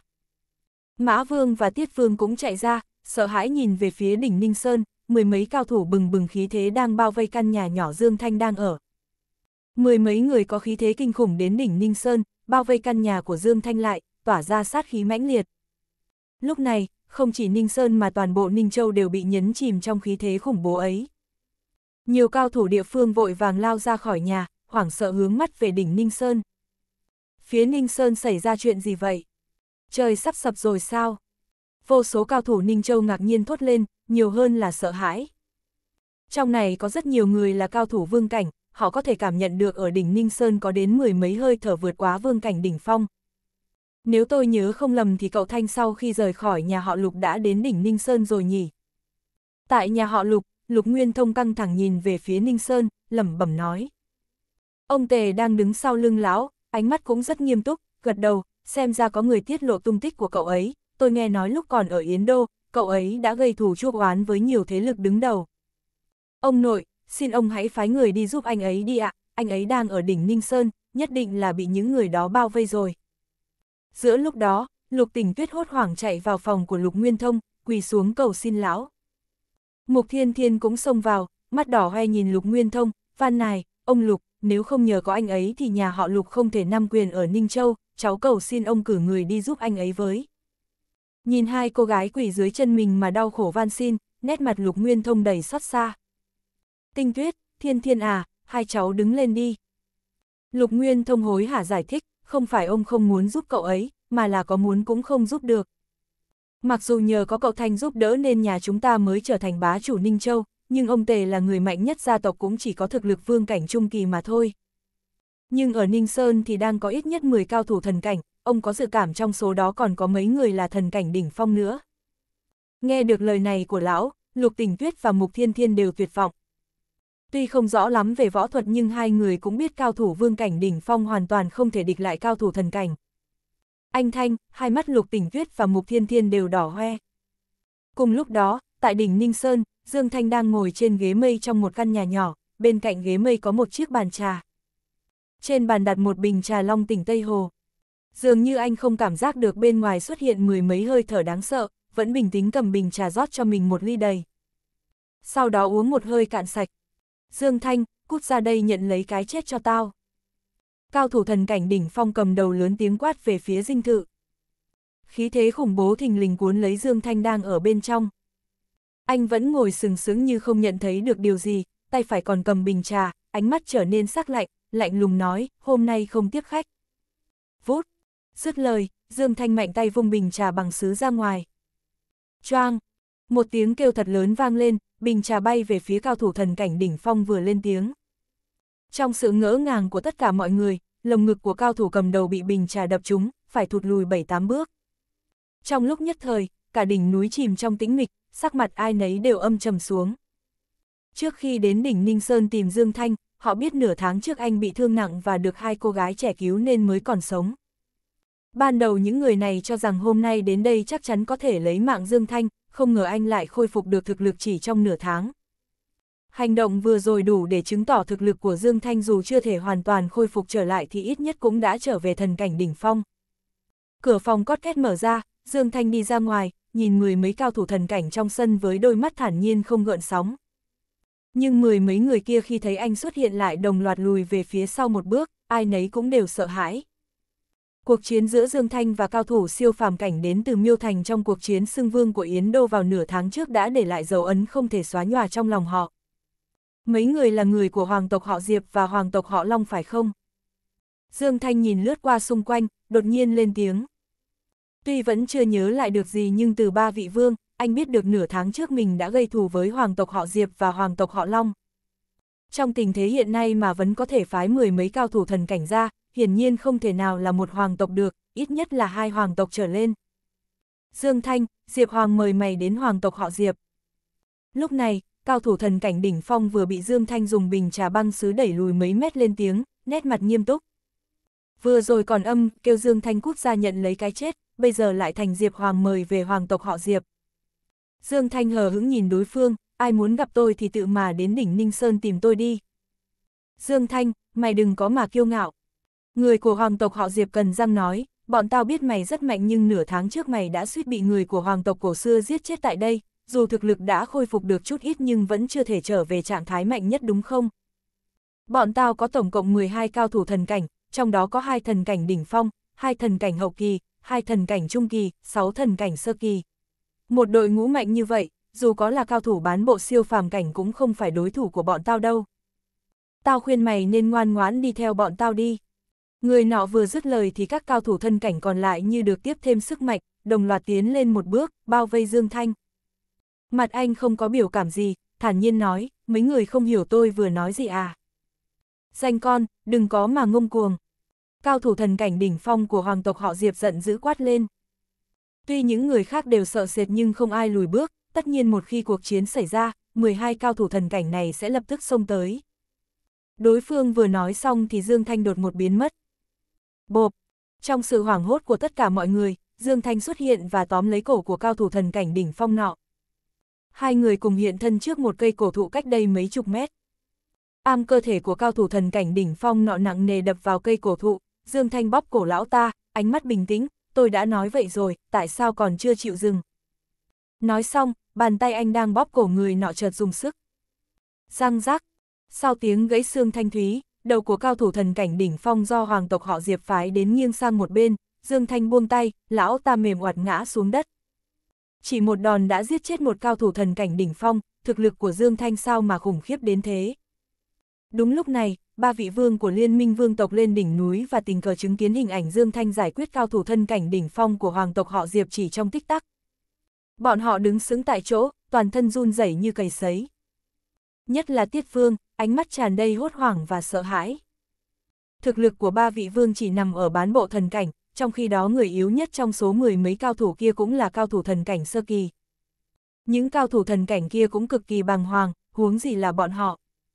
Giờ mấy người còn muốn mời tôi đến hoàng tộc họ Diệp nữa không? Dương Thanh đưa mắt nhìn những người kia, lạnh giọng hỏi. Toàn bộ đỉnh Ninh Sơn yên lặng không một tiếng động, không một ai dám đáp lời, chỉ có tiếng gió thổi vù vù. Thấy chẳng có ai lên tiếng, Dương Thanh xoay người định vào nhà. Dù có chết, bọn tao cũng phải bắt mày về cho bằng được. Hai cao thủ thần cảnh đỉnh phong đã chết một, chỉ còn lại cao thủ của hoàng tộc họ Long, lão ta nhìn bóng lưng của Dương Thanh chăm chằm, nghiến răng nghiến lợi nói. Lão ta là một trưởng lão của hoàng tộc họ Long, đã chứng kiến trăm năm phồn vinh của hoàng tộc, lúc này sự phát triển của hoàng tộc đang đến thời điểm mấu chốt nhất, mọi biến cố xảy ra đều có thể mang lại tai họa cho bọn họ. Thực lực Dương Thanh vừa thể hiện ra rất mạnh, cho thấy anh là một mối đe dọa rất lớn đối với hoàng tộc họ Long. Bây giờ có thể Dương Thanh vẫn chưa đạt đến trạng thái mạnh nhất, nhưng nếu cho Dương Thanh thêm thời gian tĩnh dưỡng thì đến khi hoàn toàn khôi phục sợ là càng mạnh hơn nữa. Đã có thủ oán với Dương Thanh rồi thì đành liều chết một trận thôi, cho dù không thể giết thì làm bị thương cũng được, như thế hoàng tộc họ Long và hoàng tộc họ Diệp sẽ giảm bớt một kẻ địch đáng gờm. Vừa bước đến cửa thì nghe đối phương nói vậy, bước chân Dương Thanh lập tức dừng lại. Anh từ tốn xoay người, híp mắt nhìn cao thủ thần cảnh đỉnh phong của hoàng tộc họ Long kia. Đừng quên, từ khi được phái tới Ninh Sơn tìm Dương Thanh, chúng ta không được quan tâm đến vấn đề sống chết nữa. Chúng ta đang cống hiến cho tương lai của hoàng tộc họ Long và hoàng tộc họ Diệp. Người của hoàng tộc họ Long lên tiếng, Dương Thanh đã bị thương nhưng vẫn có thể bộc phát ra sức mạnh đáng sợ đến vậy, nếu để cậu ta hoàn toàn khôi phục thì tháng ngày của hoàng tộc họ Long và hoàng tộc họ Diệp sẽ chấm dứt. Chúng ta phải dốc hết toàn lực để giết Dương Thanh, không giết được thì làm cậu ta bị thương nặng, vậy cũng có thể là hoàn thành nhiệm vụ rồi. Các anh em, xông lên. Theo tiếng hiệu lệnh này, 11 cao thủ thần cảnh đồng loạt bùng nổ sức chiến đấu mạnh nhất, vừa xông về phía Dương Thanh vừa hét to, giết. Dương Thanh vẫn đứng yên ở cửa như không ý thức được những cao thủ mình đang phải đối mặt kinh khủng đến nhường nào, chỉ đứng tại chỗ, nhưng đôi mắt lại toát lên sự thương hại. Như đang thương hại những cao thủ thần cảnh đang xông lên để giết mình. Ba vị vương của liên minh vương tộc đều hoảng hốt, 11 người này đều là cao thủ thần cảnh, bất kỳ ai trong số họ đến bất kỳ thành phố nào cũng có thể thành lập một tổ chức cho riêng mình. Vậy mà giờ đây, những cao thủ ấy lại hợp sức với nhau chỉ để đi giết một người chưa đầy 30 tuổi. Mấy người đã chọn cái chết thì tôi sẽ thành toàn. Nói xong, Dương Thanh bất chợt giơ chân lên rồi giãm xuống thật mạnh. Uỳnh! Tiếng chấn động vang lên, lấy vị trí đặt chân của anh làm điểm xuất phát, từng khe nứt rộng băng cánh tay lan tràn về phía những cao thủ thần cảnh kia. Âm ầm, mặt đất rung chuyển kịch liệt như có động đất. Cả ngọn núi như đang lung lay. Những người đang lao tới đều lảo đảo ngả nghiêng, đứng còn không vững thì lấy gì để tiếp cận anh. Bị người ta thấy Dương Thanh lại dậm chân xuống đất, một loạt các cục đá bị tung lên bắn thẳng về phía 11 cao thủ thần cảnh với tốc độ nhanh khủng khiếp. C xẹt C trong sự ngỡ ngàng của ba vị vương, những cao thủ có thực lực thần cảnh sơ kỳ và thần cảnh trung kỳ đều chết sạch. Thân thể họ như thước phim bị ấn nút rừng, sau đó cả đám ngã xuống đất. Những cao thủ thần cảnh hậu kỳ và thần cảnh đỉnh phong tuy vẫn chưa ngã xuống nhưng ngực mỗi người đều bị viên đá nhỏ đâm thủng, hơi thở võ thuật yếu đi thấy rõ. Mặt đất trở lại với sự tĩnh lặng thường ngày, bụi bặm rơi hết xuống đất. Trong số 11 người muốn giết Dương Thanh, có 6 cao thủ thần cảnh sơ kỳ và 2 cao thủ thần cảnh trung kỳ đã bỏ mạng. Chỉ còn một cao thủ thần cảnh đỉnh phong của hoàng tộc họ Long còn có thể đứng, hai cao thủ thần cảnh hậu kỳ thì ngồi dưới đất, tuy chưa chết nhưng thoi thóp, sống không được bao lâu nữa, cũng không còn sức chiến đấu. Từ lúc 11 cao thủ thần cảnh xông về phía Dương Thanh cho đến toàn quân bị hạ gục, mọi thứ chỉ xảy ra trong mấy giây. Từ đầu đến cuối, anh chỉ làm một động tác nhấc chân đạp xuống. Lần thứ nhất, làm cho cả ngọn núi rung chuyển. Lần thứ hai, chỉ duy nhất cao thủ thần cảnh đỉnh phong trong số 11 cao thủ thần cảnh là còn đứng được. Ba bị vương nhìn khung cảnh đây máu me như địa ngục trần gian trước mắt, run bần bật, trong con người tràn trề sợ hãi. Họ là người đứng đầu của vương tộc nên có kiến thức rộng rãi, nhưng lại chưa bao giờ thấy cảnh tượng nào như lúc này. Giữ lại mạng cho ông, cút về hoàng tộc nói cho chủ của mình biết nếu còn dám quấy giày thì ôi không ngại tự mình đến tận nơi đâu. Dương Thanh lạnh lùng đe dọa. Cho đến lúc này, ba vị vương mới hiểu rằng hóa ra không phải Dương Thanh không thể giết chết cao thủ thần cảnh đỉnh phong kia, mà là cố ý giữ mạng để ông ta gửi lời nhìn của mình về hoàng tộc. Người có thực lực thần cảnh đỉnh phong thuộc hoàng tộc họ Long cảm thấy cực kỳ nhục nhã, không cam lòng, rốt cuộc ông ta cũng nhận ra hoàng tộc họ Long đã chuốc oán với một người kinh khủng đến nhường nào. Có thể nói, dù đối thủ có là hoàng tộc thì Dương Thanh cũng vấn vô địch. Tôi chỉ muốn hỏi cậu một câu, rốt cuộc thì bây giờ cậu đang ở cảnh giới nào? Người của hoàng tộc họ Long đột nhiên hỏi. Ban đầu lão ta cho rằng thực lực của Dương Thanh đã giảm đi đáng kể sau cuộc chiến với cao thủ siêu phàm cảnh của hoàng tộc cổ xưa vào nửa tháng trước, bây giờ xem ra không phải. Ông không có tư cách biết, cút đi. Dương Thanh lạnh lùng quát. Cậu nhất định sẽ hối hận vì đã không giết tôi, nhớ cho kỹ, tên của tôi là Long Huy Hoàng. Long Huy Hoàng gắn giọng đe dọa rồi tập tính bỏ đi. Dương Thanh không hề quan tâm với sự uy hiếp của lão ta. Với thực lực hiện giờ, dù có là cao thủ siêu phàm nhất cảnh thì cũng chỉ có đường chết chứ đừng nói là hoàng tộc họ Long. Anh ơi! Lúc này, đột nhiên có tiếng gọi đầy lo lắng vang lên. Lục tình tuyết và Mục Thiên Thiên chạy tới. Nhìn thấy Dương Thanh đang đứng trước một căn nhà nhỏ, không bị thương gì, hai người mới thôi căng thẳng. Chị họ, em đã nói anh ấy sẽ không sao rồi mài Mục Thiên Thiên mỉm cười rất tươi, tuy đang cười nhưng nước mắt lại không kìm được chảy ra. Lục tình tuyết cũng vậy, nhìn Dương Thanh mà khóc mãi. Long Huy Hoàng vừa đi mấy bước thì nhìn thấy Lục Tinh Tuyết và Mục Thiên Thiên, trong mắt lóe lên tia tàn nhẫn. Hai cô gái này đang ở ngay cạnh ông ta, dù tốc độ của Dương Thanh có nhanh cách mấy cũng không thể cứu được. Long Huy Hoàng dậm chân xuống đất, nháy mắt xuất hiện trước mặt Lục Tinh Tuyết và Mục Thiên Thiên, hai tay nắm cổ hai chị em, cười phá lên như điên, Dương Thanh, tôi đã nói cậu sẽ phải hối hận vì đã không giết tôi rồi mà, ha ha ha la. Dương Thanh cực kỳ ngỡ ngàng khi thấy Lục Tinh Tuyết và Mục Thiên Thiên chạy lên đây, lại càng không ngờ mình đã bỏ qua cho Long Huy Hoàng rồi mà lão ta vẫn dám dùng hai cô để uy hiếp. Lục Tình Tuyết và Mục Thiên Thiên đều không luyện võ, trên người không có một chút hơi thở võ thuật nào, một cao thủ vương cảnh sơ kỳ cũng có thể giết họ dễ như trở bàn tay. Huống gì là cao thủ thần cảnh đỉnh phong. Một tay Long Huy Hoàng bóp cổ Lục Tình Tuyết, một tay bóp cổ Mục Thiên Thiên, chỉ hơi dùng sức mà hai cô gái đã bị dơ lên lơ lửng giữa trời. Hai chị em đều có cảm giác mình sắp chết, vô cùng tuyệt vọng nhưng vẫn nhìn Dương Thanh bảo anh đừng bận tâm đến mình. Ông muốn chết hài anh nổi giận gầm lên. Cục đá cứng dưới chân hóa thành phấn, sát ý khủng bố bộc phát ra khỏi cơ thể. Dưới ánh nhìn đây ngạc nhiên của ba vị vương, hai mắt Dương Thanh đỏ như máu, mái tóc đen cũng từ từ hóa thành màu tràng. Chỉ trong mấy giây ngắn ngủi mà anh như biến thành một con người khác, đằng đăng sát khí. Bạch Phương và những người khác đều hoảng hốt như thấy một con ác quỷ đến từ địa ngục.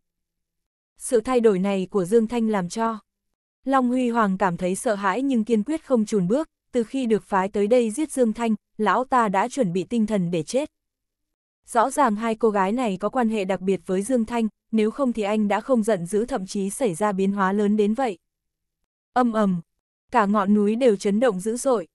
Thả họ ra Dương Thanh nghiến răng nói, giọng lạnh đến ột cùng, thật sự rất giống ác quỷ bước ra từ địa ngục. Chỉ là giọng nói thôi đã khiến người người ta không rét mà run. Dương Thanh, trách là hai đứa con gái này đặc biệt với mày lắm nhỉ. Long Huy Hoàng cố ghim sự sợ hãi xuống, run rẩy đe dọa, mày mà dám nhúc nhích một bước là tao giết hai đứa nó ngay. Dương Thanh dừng chân, đôi mắt đỏ ngầu nhìn Long Huy Hoàng, lạnh thấu xương. Quỳ xuống. Long Huy Hoàng quát tháo, tao kêu mày xuống, quỳ với những người bị mày giết đi. Dương Thanh đứng sừng sững như cây tùng, không hề có ý định quỳ xuống, lạnh giọng nói, thả họ ra thì tôi có thể xem như chưa có chuyện gì xảy ra, nếu không, kể từ hôm nay, Chiêu Châu sẽ không còn hoàng tộc họ Long nữa. Một câu nói đầy hời hợt lại khiến cho Long Huy Hoàng cảm nhận được áp lực khổng lồ.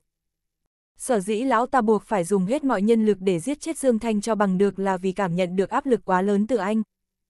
Lúc này, Long Huy Hoàng lợi dụng lục tỉnh tuyết và mục thiên thiên để uy hiếp Dương Thanh là để khiến Dương Thanh bị thương nặng, từ đó tạo cơ hội cho hoàng tộc họ Long giết Dương Thanh. Nhưng giờ đây, sự uy hiếp của Dương Thanh làm lão ta do dự. Long Huy Hoàng không biết nếu thả lục tỉnh tuyết và mục thiên thiên ra thật thì liệu Dương Thanh có xem như chưa có chuyện gì xảy ra như anh đã nói hay không. Nhưng có một điều Long Huy Hoàng có thể khẳng định là, nếu không làm Dương Thanh bị thương nặng, hoàng tộc họ Long thật sự sẽ bị diệt tộc. Lúc này đây, trên người Dương Thanh như xảy ra một số thay đổi, mạnh hơn trước đây rất nhiều. Trước đây Dương Thanh đã có thể giết cao thủ thần cảnh đỉnh phong dễ dàng, bây giờ sẽ mạnh đến mức nào đây? Dương Thanh, tao kêu mày quỳ xuống cơ mà. Long Huy Hoàng giận dữ hét, quỳ xuống, tự phế tu vi của mình đi. Nếu không tao sẽ giết hai đứa này. Dứt lời, ông ta bỗng dùng sức. Trong mắt của Lục Tình Tuyết và Mục Thiên Thiên đã sắp rơi ra khỏi hốc mắt, khuôn mặt nhăn nhúm lại vì đau. Nhưng khi nhìn về phía Dương Thanh, ánh mắt của hai người vẫn tràn đầy kiên cường, không cách nào nói thành lời, chỉ có thể chuyển động mắt để nói với Dương Thanh rằng đừng để ý đến mình. Tuy nhiên, Dương Thanh thật sự đành lòng mặc kệ bọn họ sao. Tôi thề, từ nay về sau Chiêu Châu sẽ không còn hoàng tộc họ Long. Dương Thanh gần như gắn từng chữ nói ra câu này. Long Huy Hoàng đột nhiên cảm thấy căng thẳng, lão ta lờ mờ nhận ra mình đã phạm phải sai lầm lớn rồi. Nhưng lúc này không còn cơ hội quay đầu lại nữa, đã lựa chọn đánh trọng thương Dương Thanh thì chỉ đành đâm lao theo lao thôi. Quỳ xuống cho tao, quỳ xuống. Long Huy Hoàng hét toáng lên, quỳ xuống, tự phế tu vi. Đừng ép tao, tao cho mày 10 giây cuối cùng. 10, 9.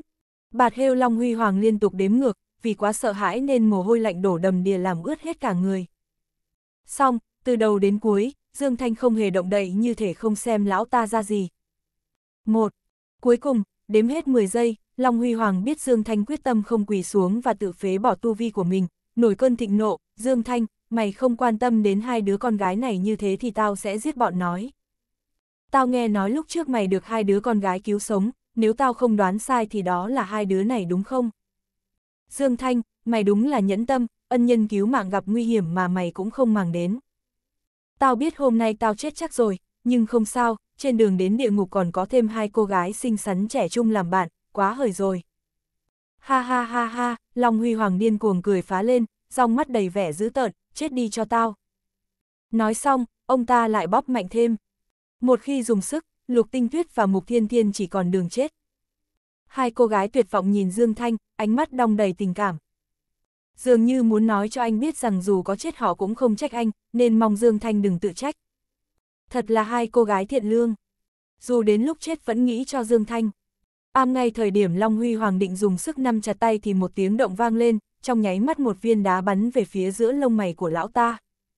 Anh đã ra tay. Vừa rồi Long Huy Hoàng luôn dùng lục tỉnh tuyết và mục thiên thiên để che trước mặt nên dù có muốn thì Dương Thanh cũng không làm gì được. Nhưng ngay vừa rồi, Long Huy Hoàng định giết hai chị em, rốt cuộc để lộ sơ hở, bị Dương Thanh bắn một phát vỡ đầu. Lục tinh tuyết và mục thiên thiên ngã xuống đất theo Long Huy Hoàng. Được hô hấp không khí mới mẻ thật là một điều tuyệt vời. Thật lâu sau, hai cô gái mới từ từ lấy lại sức, nét mặt cũng hồng hào trở lại. Nhưng vào lúc này, họ đột nhiên phát hiện ra Dương Thanh có gì đó khác thường. Chỉ thấy Dương Thanh đứng tại chỗ, cơ thể không ngừng run rẩy, bùng nổ một luồng sát ý kinh khủng. Anh, anh Thanh. Lục tinh tuyết run rẩy gọi Dương Thanh. Mục Thiên Thiên cũng nghẹn ngào hét lên, anh Thanh, anh sao thế? Đừng làm bọn em sợ mài xong Dương Thanh vấn như không nghe thấy. Gì, cứ đứng tại chỗ, toàn thân run lập cập, hai mắt thì đỏ như máu, trông không còn giống một con người. Thấy Dương Thanh có sự thay đổi lớn như thế, ba vị vương của liên minh vương tộc đều hoảng sợ. Cậu ta mất kiểm soát rồi. Bạch Phương nuốt nước miếng, khó nhọc nói ra câu này. Gì cơ? Tiết Phương và Mã Vương đều giật mình, bên cạnh đó còn có sự sợ hãi và tuyệt vọng khôn cùng. Tuy đây là lần đầu tiên họ thấy dáng vẻ này của Dương Thanh, nhưng cũng từng nghe nói anh đã suýt mất kiểm soát trong cuộc đấu võ giành ngôi vương của Yến Đô.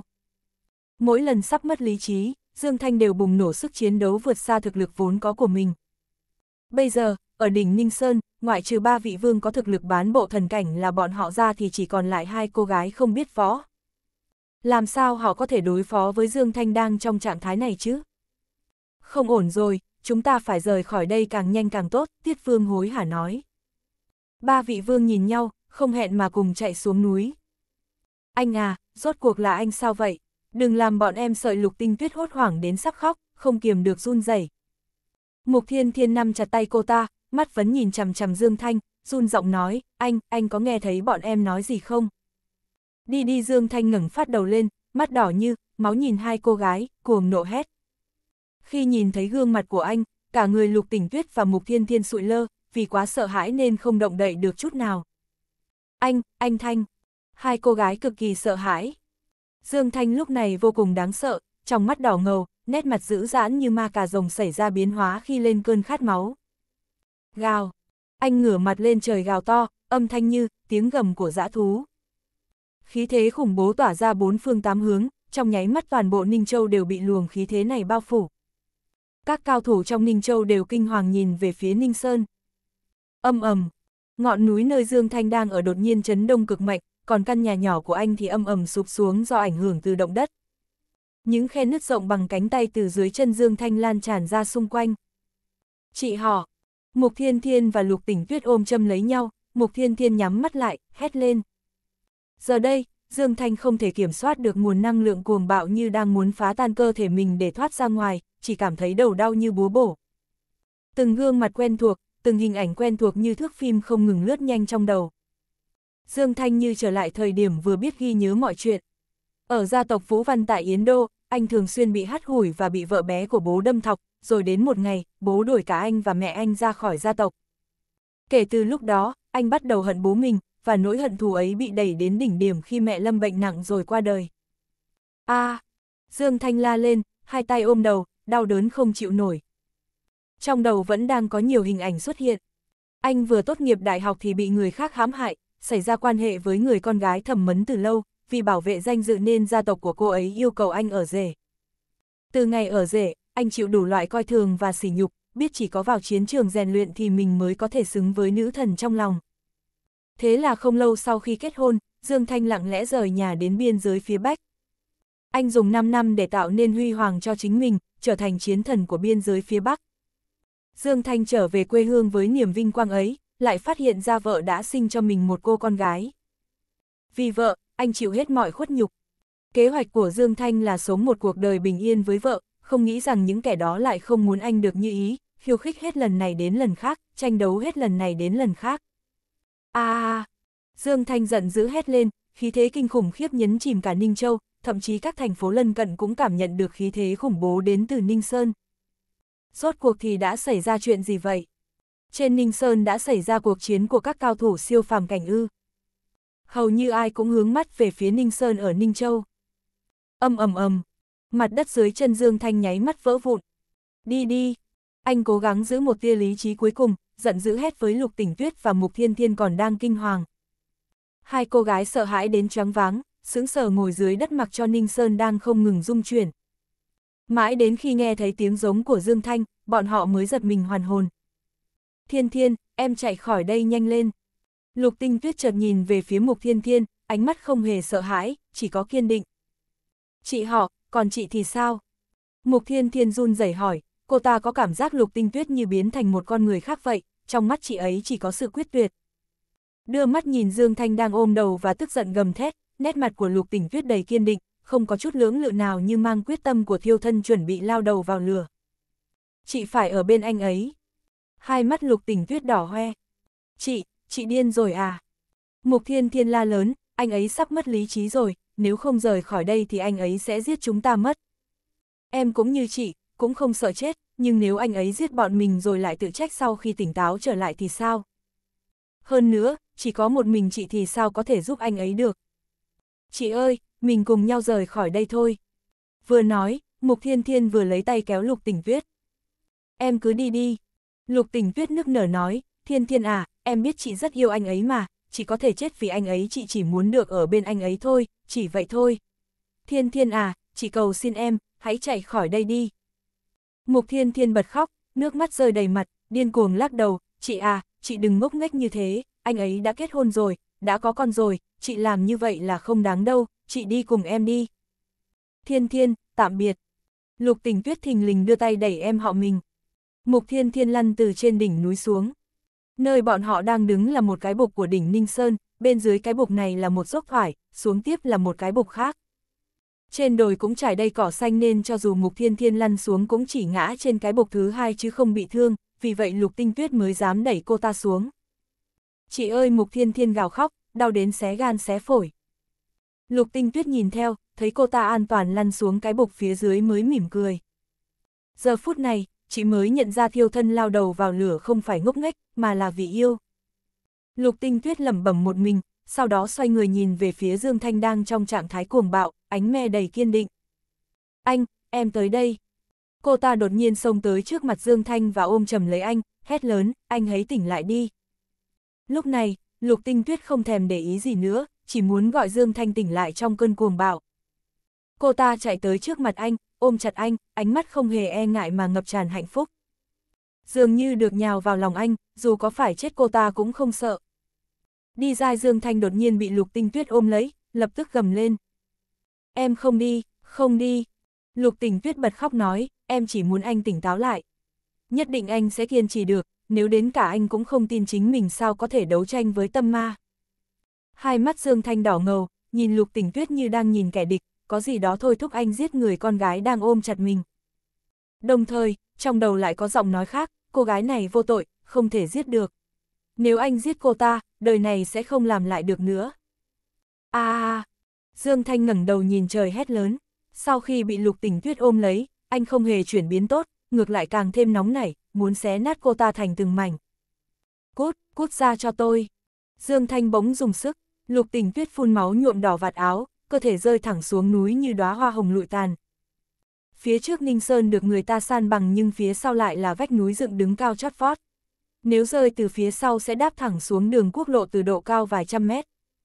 Mà lục tình tuyết đang rơi xuống từ phía sau Ninh Sơn. Vĩnh biệt anh, cô ta như một chiếc lá yếu ớt rơi tự do. Đúng lúc này, trái tim Dương Thanh chợt quặn thất như sắp mất đi thứ gì đó vô cùng quý giá. Đừng, đừng mà rốt cuộc anh cũng khôi phục lại lý trí, đỏ bừng mắt nhìn lục tỉnh tuyết đang chậm rãi rơi xuống. Tinh tuyết, anh gào lên, không hề do dự nhảy bổ xuống về phía lục tỉnh tuyết. Từ lúc rơi khỏi đỉnh núi, lục tỉnh tuyết đã nhắm chặt mắt, hai hàng nước mắt chảy dài cùng cô ta rơi xuống vực sâu. Lúc Dương Thanh nhảy khỏi đỉnh Ninh Sơn đã hoàn toàn tỉnh táo, ánh mắt kiên định. Tốc độ rơi của anh cực kỳ khủng bố, ngày càng tới gần lục tỉnh tuyết. 10 meti 5 mét, 1 mét, ngay khi cơ thể của anh và lục tinh tuyết ngang băng, anh bỗng ôm chặt cô ta vào lòng. Lục tinh tuyết đang rơi tự do bất thình lình bị ôm, lập tức bừng tỉnh. Cô ta mở mắt ra, trông thấy một gương mặt quen thuộc đang dịu dàng nhìn mình. Anh, anh! Lục tình tuyết mừng rỡ hỏi, em đang nằm mơ sao? Hay là em đã xuyên tới một thế giới song song khác, nơi có thể có được anh rồi? Tinh tuyết, ôm chặt anh. Dương Thanh bồng lên tiếng. Lúc này, hai người chỉ cách chân núi hơn 100 mét, sắp rơi xuống đất. Dù Dương Thanh có thực lực siêu phàm cảnh nhưng rơi từ đỉnh núi cao mấy trăm mét xuống, không chết cũng phải bị thương nặng. Lục tình tuyết vô thức ôm chặt anh, khi cô ta cúi đầu nhìn xuống, thấy mặt đất cách mình ngày càng cần liền sợ chết khiếp. Anh! Bấy giờ cô ta mới ý thức được, không phải bản thân xuyên sang thế giới khác, mà là Dương Thanh cũng nhảy xuống với mình. Sao anh lại ngốc như vậy? Lục tinh tuyết đỏ mắt nói, cô ta vốn không ôm hy vọng sống sót, trong lòng chỉ có ái náy. Nếu không vì cô ta tùy hứng, có lẽ Dương Thanh vẫn còn cơ hội sống. Nhưng bây giờ, anh đã nhảy theo cô ta. Rơi xuống từ đỉnh Ninh Sơn cao mấy trăm mét chỉ có một con đường chết. Dương Thanh không còn tâm trạng để ý tới cô ta, trông thấy mặt đất ngày càng gần bèn tìm kiếm một điểm mượn lực trên vách núi đá. Nhưng vách núi quá trống rồng, không có lấy một gốc cây nào. Anh Vân có thể sống sót sau khi nhảy từ đỉnh núi cao như vậy, nhưng lục tỉnh tuyết chắc chắn sẽ chết. Lục tỉnh tuyết bị anh đánh rơi xuống, không thể để cô ta chết được, nếu không anh sẽ phải hối hận cả đời. Ôm chặt anh. Dương Thanh hét ầm lên. Không cần anh nhắc nhở, Lục Tinh Tuyết vẫn luôn ôm chặt lấy anh. Trong giây phút ngàn cân xeo sợi tóc, Dương Thanh bỗng tóm lấy một tảng đá lớn ở bên cạnh. Uỳnh! Lực rơi khủng khiếp khiến tay anh như sắp đứt ra, tảng đá lập tức nứt vỡ, hai người tiếp tục rơi xuống. May thay, nhờ tóm lấy tảng đá kia, tốc độ rơi của hai người đã giảm mạnh. Lúc này, bọn họ chỉ cách đường cái dưới chân núi chừng 5, 6 mét. Tinh tuyết, ôm chặt anh. Dương Thanh lại lên tiếng nhắc nhở. Ở dưới không còn chỗ nào để mượn lực, anh chỉ có thể mạnh mẽ đáp xuống đất. Lục tình tuyết ôm chặt Dương Thanh, hai mắt nham nghiền, hoảng sợ chờ đợi nguy hiểm ập tới. Âm, giây phút rơi xuống đất, Dương Thanh đã chuẩn bị tốt từ trước, hai chân bỗng cong lại dùng hết sức bật ra xa. Anh ôm lục tinh tuyết lăn mấy chục vòng trên mặt đất mới dừng lại. Lục tinh tuyết bị va chạm nặng nề, đã ngất xỉu.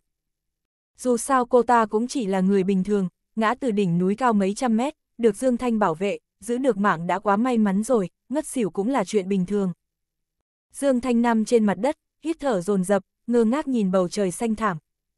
May mà vẫn còn sống. Một lúc lâu sau, anh tự lẩm bẩm. Tinh tuyết. Bấy giờ anh mới lo lắng kiểm tra cho lục tình tuyết.